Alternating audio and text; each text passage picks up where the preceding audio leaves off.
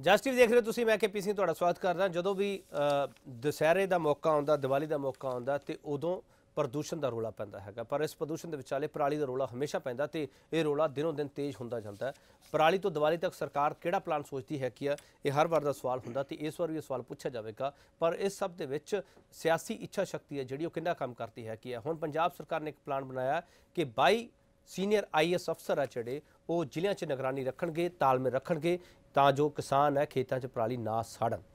ਇਸ ਸਭ ਦੇ ਵਿਚਾਲੇ ਕਿਸਾਨ ਇਹ ਕਹਿੰਦੇ ਹੈਗੇ ਆ ਕਿ ਸਾਨੂੰ ਪਰਾਲੀ ਸਾੜਨਾ ਸਾਡੀ ਮਜਬੂਰੀ ਹੈ ਕਿ ਸਾਨੂੰ ਮੁਆਵਜ਼ਾ ਦੇ ਦਿਓ, ਸਾਡਾ ਦਿਲ ਨਹੀਂ ਕਰਦਾ ਪਰਾਲੀ ਸਾੜੀਏ, ਪਰ ਅਸੀਂ ਕੀ ਕਰੀਏ? ਅਸੀਂ ਅਗਲੀ ਫਸਲ ਵੀ ਬੀਜਣੀ ਹੁੰਦੀ ਹੈ ਬਹੁਤ ਸਾਰੇ ਸਵਾਲ ਕਿਸਾਨਾਂ ਦੇ ਵੀ ਹੈਗੇ ਆ। ਸਰਕਾਰ ਕੋਲ ਵੀ ਪਲਾਨ ਹੈਗਾ ਤੇ ਸਰਕਾਰ ਇਸ ਦੇ ਵਿਚਾਲੇ 595 ਗੁਰਪੁਰਬ ਦਾ ਸਹਾਰਾ ਵੀ ਲੈ ਰਹੀ ਹੈ। ਸ਼੍ਰੀ ਗੁਰੂ ਨਾਨਕ ਦੇਵ ਜੀ ਬਾਰੇ ਵੀ ਦੱਸਿਆ ਜਾ ਰਿਹਾ ਕਿ ਉਹਨਾਂ ਦੀਆਂ ਸਿੱਖਿਆਵਾਂ ਸਾਨੂੰ ਕੀ ਕਹਿੰਦੀਆਂ ਹੈਗੀਆਂ, ਉਸ ਦੇ ਮੁਤਾਬਕ ਸਾਨੂੰ ਕੀ ਕੰਮ ਕਰਨਾ ਚਾਹੀਦਾ ਹੈਗਾ। ਪਰ ਇਸ ਸਭ ਦੇ ਵਿਚਾਲੇ ਸਵਾਲ ਇਹ ਹੈਗਾ, ਦੁਸਹਿਰਾ, ਪਰਾਲੀ ਤੇ ਦੀਵਾਲੀ ਕਿਹੜਾ ਧੂਆਂ ਰੋਕੇਗੀ ਸਰਕਾਰ?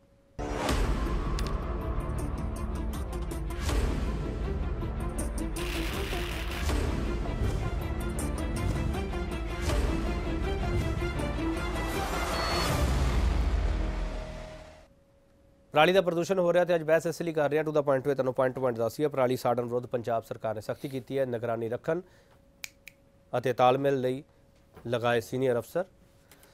ਤੇ ਇਹਨਾਂ ਤੈਨਾਤੀ ਕੀਤੀ ਹੈ। ਪੰਜਾਬ ਸਰਕਾਰ ਨੇ 22 ਆਈਏਐਸ ਅਫਸਰਾਂ ਦੀ ਤੈਨਾਤੀ ਕੀਤੀ ਹੈ। ਕਿਸਾਨ ਜਥੇਬੰਦੀਆਂ ਨੇ ਮੁੜ ਦੁਹਰਾਇਆ ਕਿ ਸਰਕਾਰ ਮੁਆਵਜ਼ਾ ਦੇਵੇ। ਹਾਲਾਂਕਿ ਸਰਕਾਰ ਕਹਿ ਰਹੀ ਹੈ, ਹੈਪੀ ਸੀਡਰ ਹੈਗਾ, ਹੋਰ ਸਬਸਿਡੀ ਵੀ ਦੇ ਰਹੇ ਹੈ। ਬਹੁਤ ਸਾਰੇ ਦਾਅਵੇ ਕੀਤੇ ਜਾਂਦੇ ਹੈਗੇ ਪਰ ਕਿਸਾਨ ਇਸ ਤੇ ਨਾਖੁਸ਼ ਨਜ਼ਰ ਆ ਰਹੇ ਕਈ ਪਿੰਡਾਂ ਨੇ ਖੁਦ ਮਤਾ ਪਾ ਲਿਆ ਤੇ ਮਤਾ ਪਾ ਕੇ ਪਰਾਲੀ ਨਾ ਸਾੜਨ ਦਾ ਅਹਿਦ ਲਿਆ ਹੈਗਾ ਕਿ ਸਾਡੇ ਤੋਂ ਸਿੱਖੋ ਕਿ ਅਸੀਂ ਪਰਾਲੀ ਨਹੀਂ ਸਾੜਦੇ ਹੈਗੇ। ਸਾਡੇ ਤੋਂ ਬਾਕੀ ਪਿੰਡ ਵੀ ਸਿੱਖਣ, ਬਾਕੀ ਕਿਸਾਨ ਵੀ ਸਿੱਖਣ। ਇਹੋ ਜਿਹੇ ਮਤੇ ਪਾਏ ਜਾ ਰਹੇ ਹੈਗੇ ਅਸੀਂ ਇਹ ਦਿੱਤੇ, ਦੇਣ ਦੀ ਕੋਸ਼ਿਸ਼ ਕੀਤੀ ਜਾ ਰਹੀ ਹੈ, ਪਰ ਇਹਨਾਂ ਕਿਸਾਨਾਂ ਦੀ ਸ਼ਿਕਾਇਤ ਜ਼ਰੂਰ ਹੈ ਕਿ ਹੈ ਕਿ ਸਾਨੂੰ ਕਿਸ ਤਰੀਕੇ ਨਾਲ ਮੁਆਵਜ਼ਾ ਦਿੱਤਾ ਜਾਵੇ? 595 ਗੁਰਪੁਰਬ ਦੇ ਮੱਦੇਨਜ਼ਰ ਸ਼੍ਰੋਮਣੀ ਕਮੇਟੀ ਸਨੇ ਕਈ ਜਥੇਬੰਦੀਆਂ ਸਰਕਾਰ ਮੈਂ ਸਰਕਾਰ ਨੇ ਸ਼੍ਰੋਮਣੀ ਕਮੇਟੀ ਨੂੰ ਅਪੀਲ ਵੀ ਕੀਤੀ ਸੀ। ਸ਼੍ਰੋਮਣੀ ਕਮੇਟੀ ਨੇ ਵੀ ਕਿਹਾ ਹੈਗਾ ਕਿ ਅਸੀਂ ਆਪਦੇ ਪੱਧਰ ਤੇ ਕੰਮ ਕਰਦੇ ਪਏ ਹੈਗੇ ਆ ਸਵਾਲ ਕੋਈ ਪੁੱਛਾਂਗੇ। ਦਿਨ ਬ ਦਿਨ ਵਾਧੇ ਪ੍ਰਦੂਸ਼ਣ ਖਿਲਾਫ ਸਰਕਾਰਾਂ ਦੀ ਇੱਛਾ ਸ਼ਕਤੀ ਤੇ ਸਵਾਲ ਕਿਉਂ ਹੈ?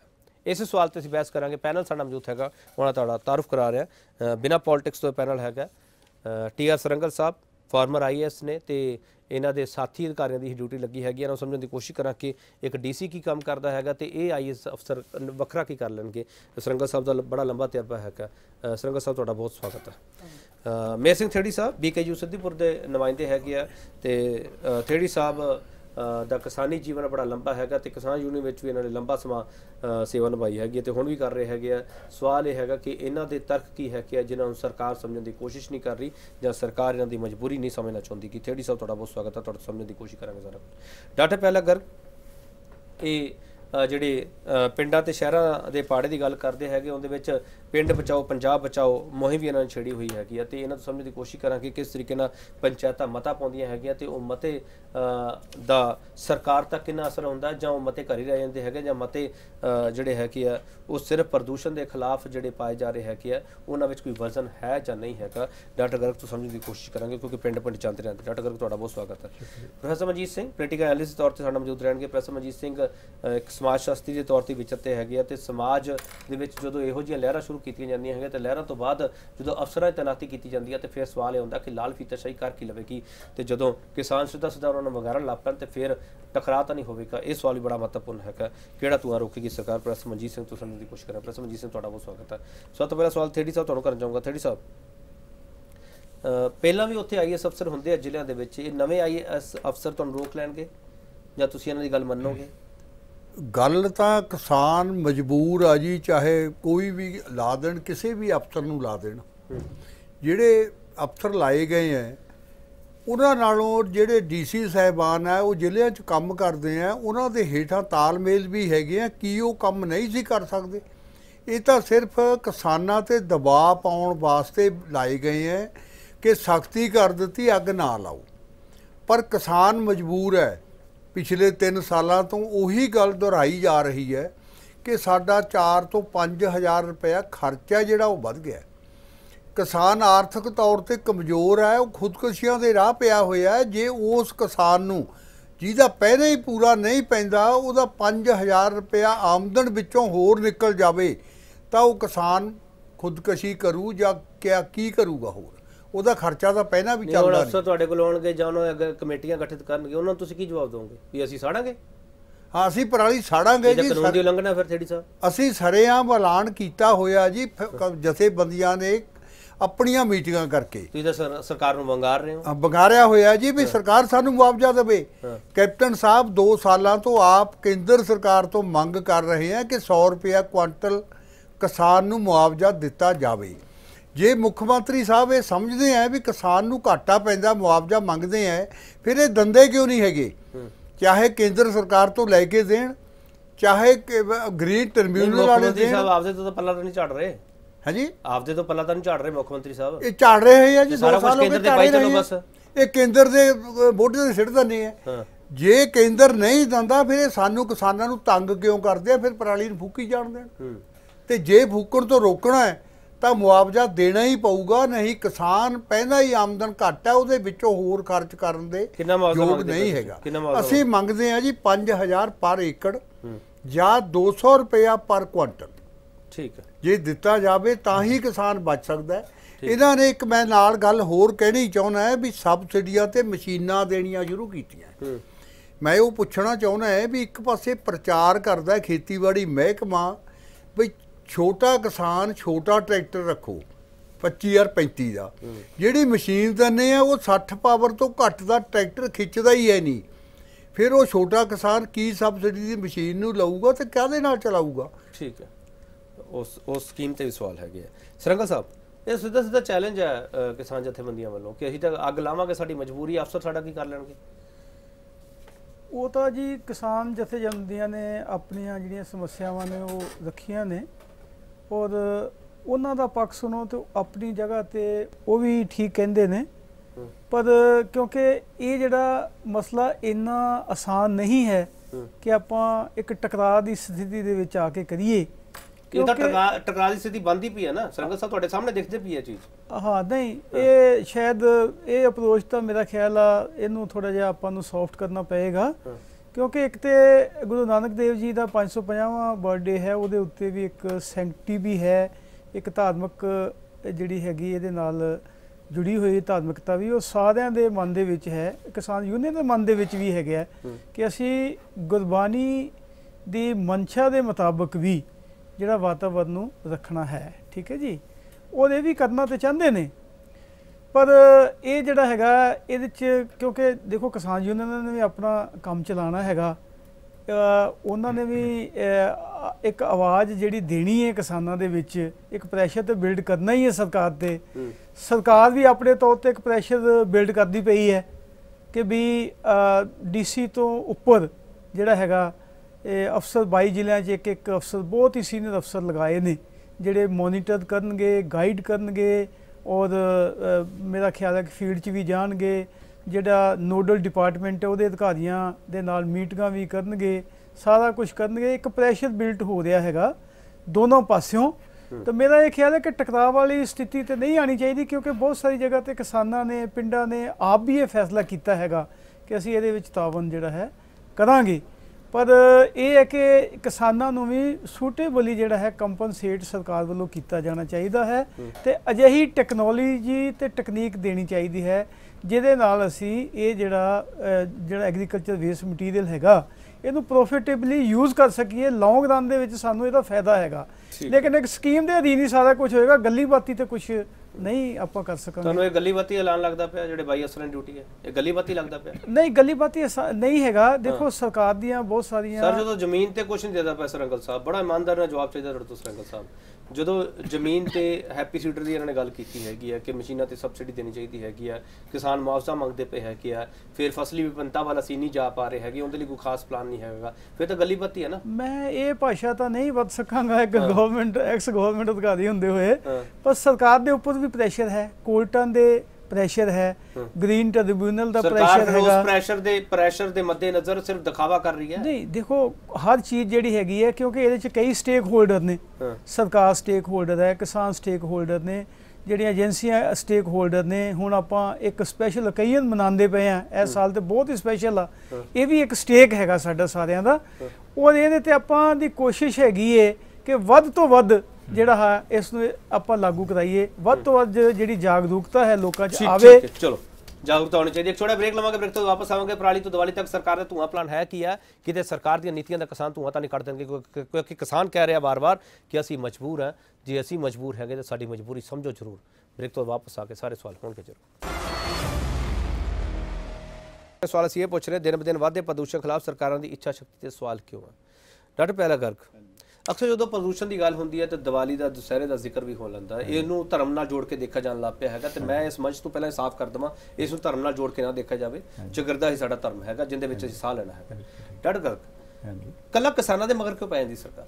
ਦੇਖੋ ਜਿੱਥੋਂ ਤੱਕ ਸਵਾਲ ਹੈ ਨਾ ਕਿਸਾਨ ਇੱਕ ਸੌਫਟ ਟਾਰਗੇਟ ਹੈ ਮੇਰੇ ਹਿਸਾਬ ਨਾਲ। ਹਾਂ। ਤੇ ਜਿਹੜਾ ਪਾਲਿਸੀ ਬਣਾਉਣ ਵਾਲਾ ਹੈ ਤੇ ਜਿਹੜਾ ਉਹਨੂੰ ਇੰਪਲੀਮੈਂਟ ਕਰਨ ਵਾਲਾ ਹੈ ਲਾਗੂ ਕਰਨ ਵਾਲਾ ਹੈ ਉਹ ਦੋਨਾਂ ਦਾ ਕਿਸਾਨੀ ਨਾਲ ਕੋਈ ਤਾਲੁਕ ਹੀ ਨਹੀਂ ਹੈ। ਨਾ ਉਹ ਕਿਸਾਨੀ ਦੇ ਵਰਗਾ ਜੀਵਨ ਔਖਾ ਬਤੀਤ ਕਰ ਰਹੇ ਨੇ ਨਾ ਉਹਨਾਂ ਵਰਗੀਆਂ ਜਿਹੜੀਆਂ ਆਰਥਿਕ ਮੁਸ਼ਕਲਾਂ ਨੇ ਉਹਦਾ ਸਾਹਮਣਾ ਕਰ ਰਹੇ ਨੇ। ਨਾ ਸਮਾਜਿਕ ਦਾ ਨਾ ਸਰੀਰਕ ਦਾ ਨਾ ਮਾਨਸਿਕ ਦਾ। ਤੇ ਅੱਜ ਮਾਨਸਿਕ ਮੁਸ਼ਕਲਾਂ ਦੇ ਵਿੱਚੋਂ ਕਿਸਾਨ ਸੁਈਸਾਈਡ ਕਰ ਰਿਹਾ ਮਜ਼ਦੂਰ ਸੁਈਸਾਈਡ ਕਰ ਰਿਹਾ। ਤੁਸੀਂ ਜੇ ਕਿਸਾਨ ਮਜ਼ਦੂਰ ਦੀ ਗੱਲ ਕਰੋ ਪੰਜਾਬ ਦੀ ਇਹ ਇੱਕ ਪਾਸੇ ਐਨਜੀਟੀ ਨੇ ਕਹਿਤਾ ਜੀ। ਮੈਂ ਕਹਿੰਦਾ ਐਨਜੀਟੀ 100 ਗੱਲਾਂ ਕਹਿੰਦੀ ਹੈ। ਐਨਜੀਟੀ ਨੇ ਜੇ ਕਿਹਾ ਹੈ ਤਾਂ ਉਹਨੇ ਇਹ ਨਹੀਂ ਕਿਹਾ ਵੀ 5000 ਰੁਪਏ ਮਹੀਨੇ ਤੇ 73% ਆਬਾਦੀ ਅਹ 73% ਹਾਊਸ ਹੋਲਡ ਜਿਹੜੇ ਪੰਜਾਬ ਦੇ ਇਹਨਾਂ ਦਾ ਆਪਦਾ ਸਰਵੇ ਹੈ ਸੋਸ਼ੋ ਇਕਨੋਮਿਕ ਉਹਦੇ 73% ਜਿਹੜੇ ਲੋਕ ਪਿੰਡਾਂ ਦੇ ਜਿਹੜੇ ਘਰ ਨੇ ਉਹ 5000 ਰੁਪਏ ਮਹੀਨੇ ਤੇ ਗੁਜ਼ਾਰਾ ਕਰਦੇ ਨੇ ਇਹ ਕੋਈ ਜੀਵਨ ਹੈ ਉਹਨਾਂ ਦਾ? ਸਾਰੀ ਉਮਰ ਮਿੱਟੀ ਨਾਲ ਮਿੱਟੀ ਹੋ ਕੇ ਬੰਦੇ ਰੋਟੀ ਮੇਰੇ ਕੋਲ ਰਿਪੋਰਟ ਪਈ ਹੈ ਸਰਕਾਰ ਦੀ ਰਿਪੋਰਟ ਹੈ। ਪੰਜਾਬ ਦੇ ਕਿਸਾਨ ਦੀ ਟੋਟਲ ਪਰਿਵਾਰ ਦੀ ਐਵਰੇਜ ਇਨਕਮ ਉਹਦੇ ਚ 50 ਏਕੜ ਵਾਲਾ 40 ਏਕੜ ਵਾਲਾ ਵੀ ਹੈ 2 ਏਕੜ ਵਾਲਾ ਵੀ ਹੈ। ਐਵਰੇਜ ਇਨਕਮ ਹੀ 16000 ਸਾਲ ਮਹੀਨੇ ਦੀ। 16000 ਰੁਪਏ ਚ ਰੋਟੀ ਖਾ ਸਕਦਾ ਕੋਈ? ਐਵਰੇਜ ਇਨਕਮ ਹੈ ਕਈਆਂ ਦੀ ਤਾਂ ਉਹ ਮੈਂ 5000 ਵਾਲੀ ਤੁਹਾਨੂੰ ਦੱਸਿਆ ਤੇ ਅੱਗੇ 90% ਤੱਕ ਜੇ ਪਹੁੰਚੇ ਤਾਂ 10000 ਤੋਂ ਵੱਧ ਨਹੀਂ ਹੈ ਮਹੀਨੇ ਦੀ। ਸੋ ਇੱਕ ਤਾਂ ਇਹ ਹੈ। ਦੂਜਾ ਜਿਹੜਾ ਹੈਗਾ ਹੈ ਕਿ ਪੋਲੂਸ਼ਨ ਦਾ ਜ਼ਿੰਮੇਵਾਰ ਕੌਣ ਹੈ? 100 ਉਹ ਵੈਸੇ ਹੁਣ ਤਾਂ 217 ਸ਼ਹਿਰ ਹੋ ਗਏ ਜੇ ਆਪਾਂ ਵਿੱਚ ਉਹ ਸੈਂਸਸ ਵਾਲੇ ਸ਼ਹਿਰ ਪਾ ਲਈਏ। 217 ਸ਼ਹਿਰਾਂ ਦੇ ਵਿੱਚ ਘੱਟੋ ਘੱਟ 1500 ਰਾਵਣ ਅੱਜ ਹੀ ਫੂਕਿਆ ਜਾਣਾ ਜਿੰਨਾ ਇਹਨੇ ਧੂਆਂ ਪੈਦਾ ਕਰਦੇ ਨੇ ਉਹ ਕਿੰਨਾ ਹੋਣਾ? ਪੜਾਕੇ ਹੋਰ ਉਹਦੀਆਂ ਹੋਰ 100 ਗੱਲਾਂ। ਜਿਹੜੀਆਂ ਗੱਡੀਆਂ 1 ਕਰੋੜ 9 ਲੱਖ 86000 ਗੱਡੀ ਦਿੱਲੀ 'ਚ ਚੱਲਦੀ ਹੈ ਤੇ ਹਰ ਸਾਲ 6% ਵੱਧ ਰਹੀ ਹੈ। ਤੇ ਹੁਣ ਇਸ ਵਕਤ ਉਹ 1 ਕਰੋੜ ਤਕਰੀਬਨ 17 ਲੱਖ ਹੋ ਗਈ। ਗਰਗ ਸਾਹਿਬ ਗੱਡੀ ਹੋ ਗਈ ਇੰਡਸਟਰੀ ਹੋ ਗਈ ਜਿਹੜੀ ਤੁਸੀਂ ਰਾਵਣ ਦੀ ਗੱਲ ਕਰਦੇ ਪਿਓ ਇੱਥੇ ਤਾਂ ਭਾਵਨਾਵਾਂ ਦਾ ਜ਼ਿਕਰ ਹੁੰਦਾ ਨਾ। ਉੱਥੇ ਉੱਥੇ ਸੰਤੀ ਮੈਂ ਆ ਰਿਹਾ। ਭਾਵਨਾ ਇੱਥੇ ਧਾਰਮਿਕ ਭਾਵਨਾ ਮੈਂ ਆ ਰਿਹਾ ਮੈਂ ਆ ਰਿਹਾ। ਉਹੀ ਖੇਤੀ ਦੇ ਭਾਵਨਾ ਨੂੰ ਨਾ ਕਿ ਕੋਈ ਖੇਤੀ ਪਾਣੀ ਨਿਵਾਣ ਵੱਲ ਨੂੰ ਵਗਦਾ ਨਾ। ਮੈਂ ਇਸ ਗੱਲ ਤੇ ਆ ਰਿਹਾ। ਹੁਣ ਜਿਹੜੀ ਗੱਲ ਹੈ ਇੱਕ ਹੁੰਦੀ ਆ ਅਸੀਂ ਕਹਿੰਦੇ ਆ ਵੀ ਇਹਨਾਂ ਦੀ ਸੋਚ ਬੜੀ ਛੋਟੀ ਹੈ ਜਿਹੜਾ ਕੁਛ ਇਹ ਕਹਿੰਦੇ ਨੇ। ਆ ਮੇਰੇ ਕੋਲ ਰਿਪੋਰਟਾਂ ਪਈਆਂ ਨੇ। ਹੁਣੀ ਕਿਸਾਨ ਮੇਲਾ ਲੱਗਿਆ ਪੀਏਯੂ ਚ। ਉੱਥੇ ਜਿਹੜੇ ਹੈਪੀ ਸੀਡਰ ਦੀ ਤੁਸੀਂ ਗੱਲ ਕਰੀ ਹੈ ਕਿਸਾਨਾਂ ਨੇ ਵਾਈਸ ਚਾਂਸਲਰ ਤੇ ਸਾਇੰਸਦਾਨਾਂ ਨੂੰ ਫਾਲਨ ਕਰਿਆ। ਵੀ ਇਹ ਦੱਸੋ ਇਹ ਤਾਂ ਕੰਮ ਹੀ ਨਹੀਂ ਕਰਦਾ ਨੁਕਸਾਨ ਨੇ ਇਹਦੇ। ਫਿਰ ਕਹਿੰਦੇ ਹਾਂ ਹਾਂ ਅਸੀਂ ਇਹਨੂੰ ਰੋਕ ਰਹੇ ਹਾਂ ਅਸੀਂ ਐਂ ਕਰ ਰਹੇ ਹਾਂ।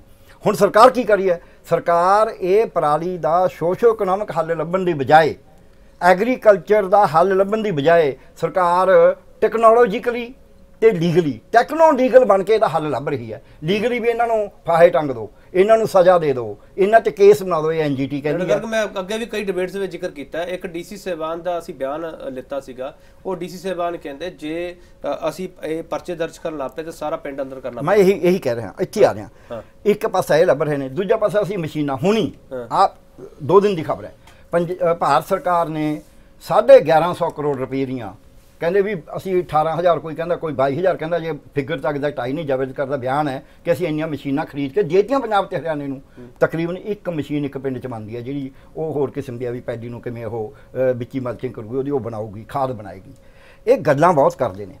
ਜਿਹੜੇ ਐਗਰੀਕਲਚਰ ਸੈਕਟਰ ਨੇ ਜਿਹਨਾਂ ਬਾਈ ਅਫਸਰਾਂ ਨੂੰ ਤੁਸੀਂ ਗੱਲ ਕਰਦੇ ਹੋ ਮੈਂ ਕਿਉਂ ਕਹਿਣਾ? ਉਹ ਐਗਰੀਕਲਚਰ ਸੈਕਟਰੀ ਪਿੱਛੇ ਇੱਕ ਸਾਇੰਸ ਐਂਡ ਟੈਕਨੋਲੋਜੀ ਨੇ ਮੀਟਿੰਗ ਕਰੀ ਸੀ।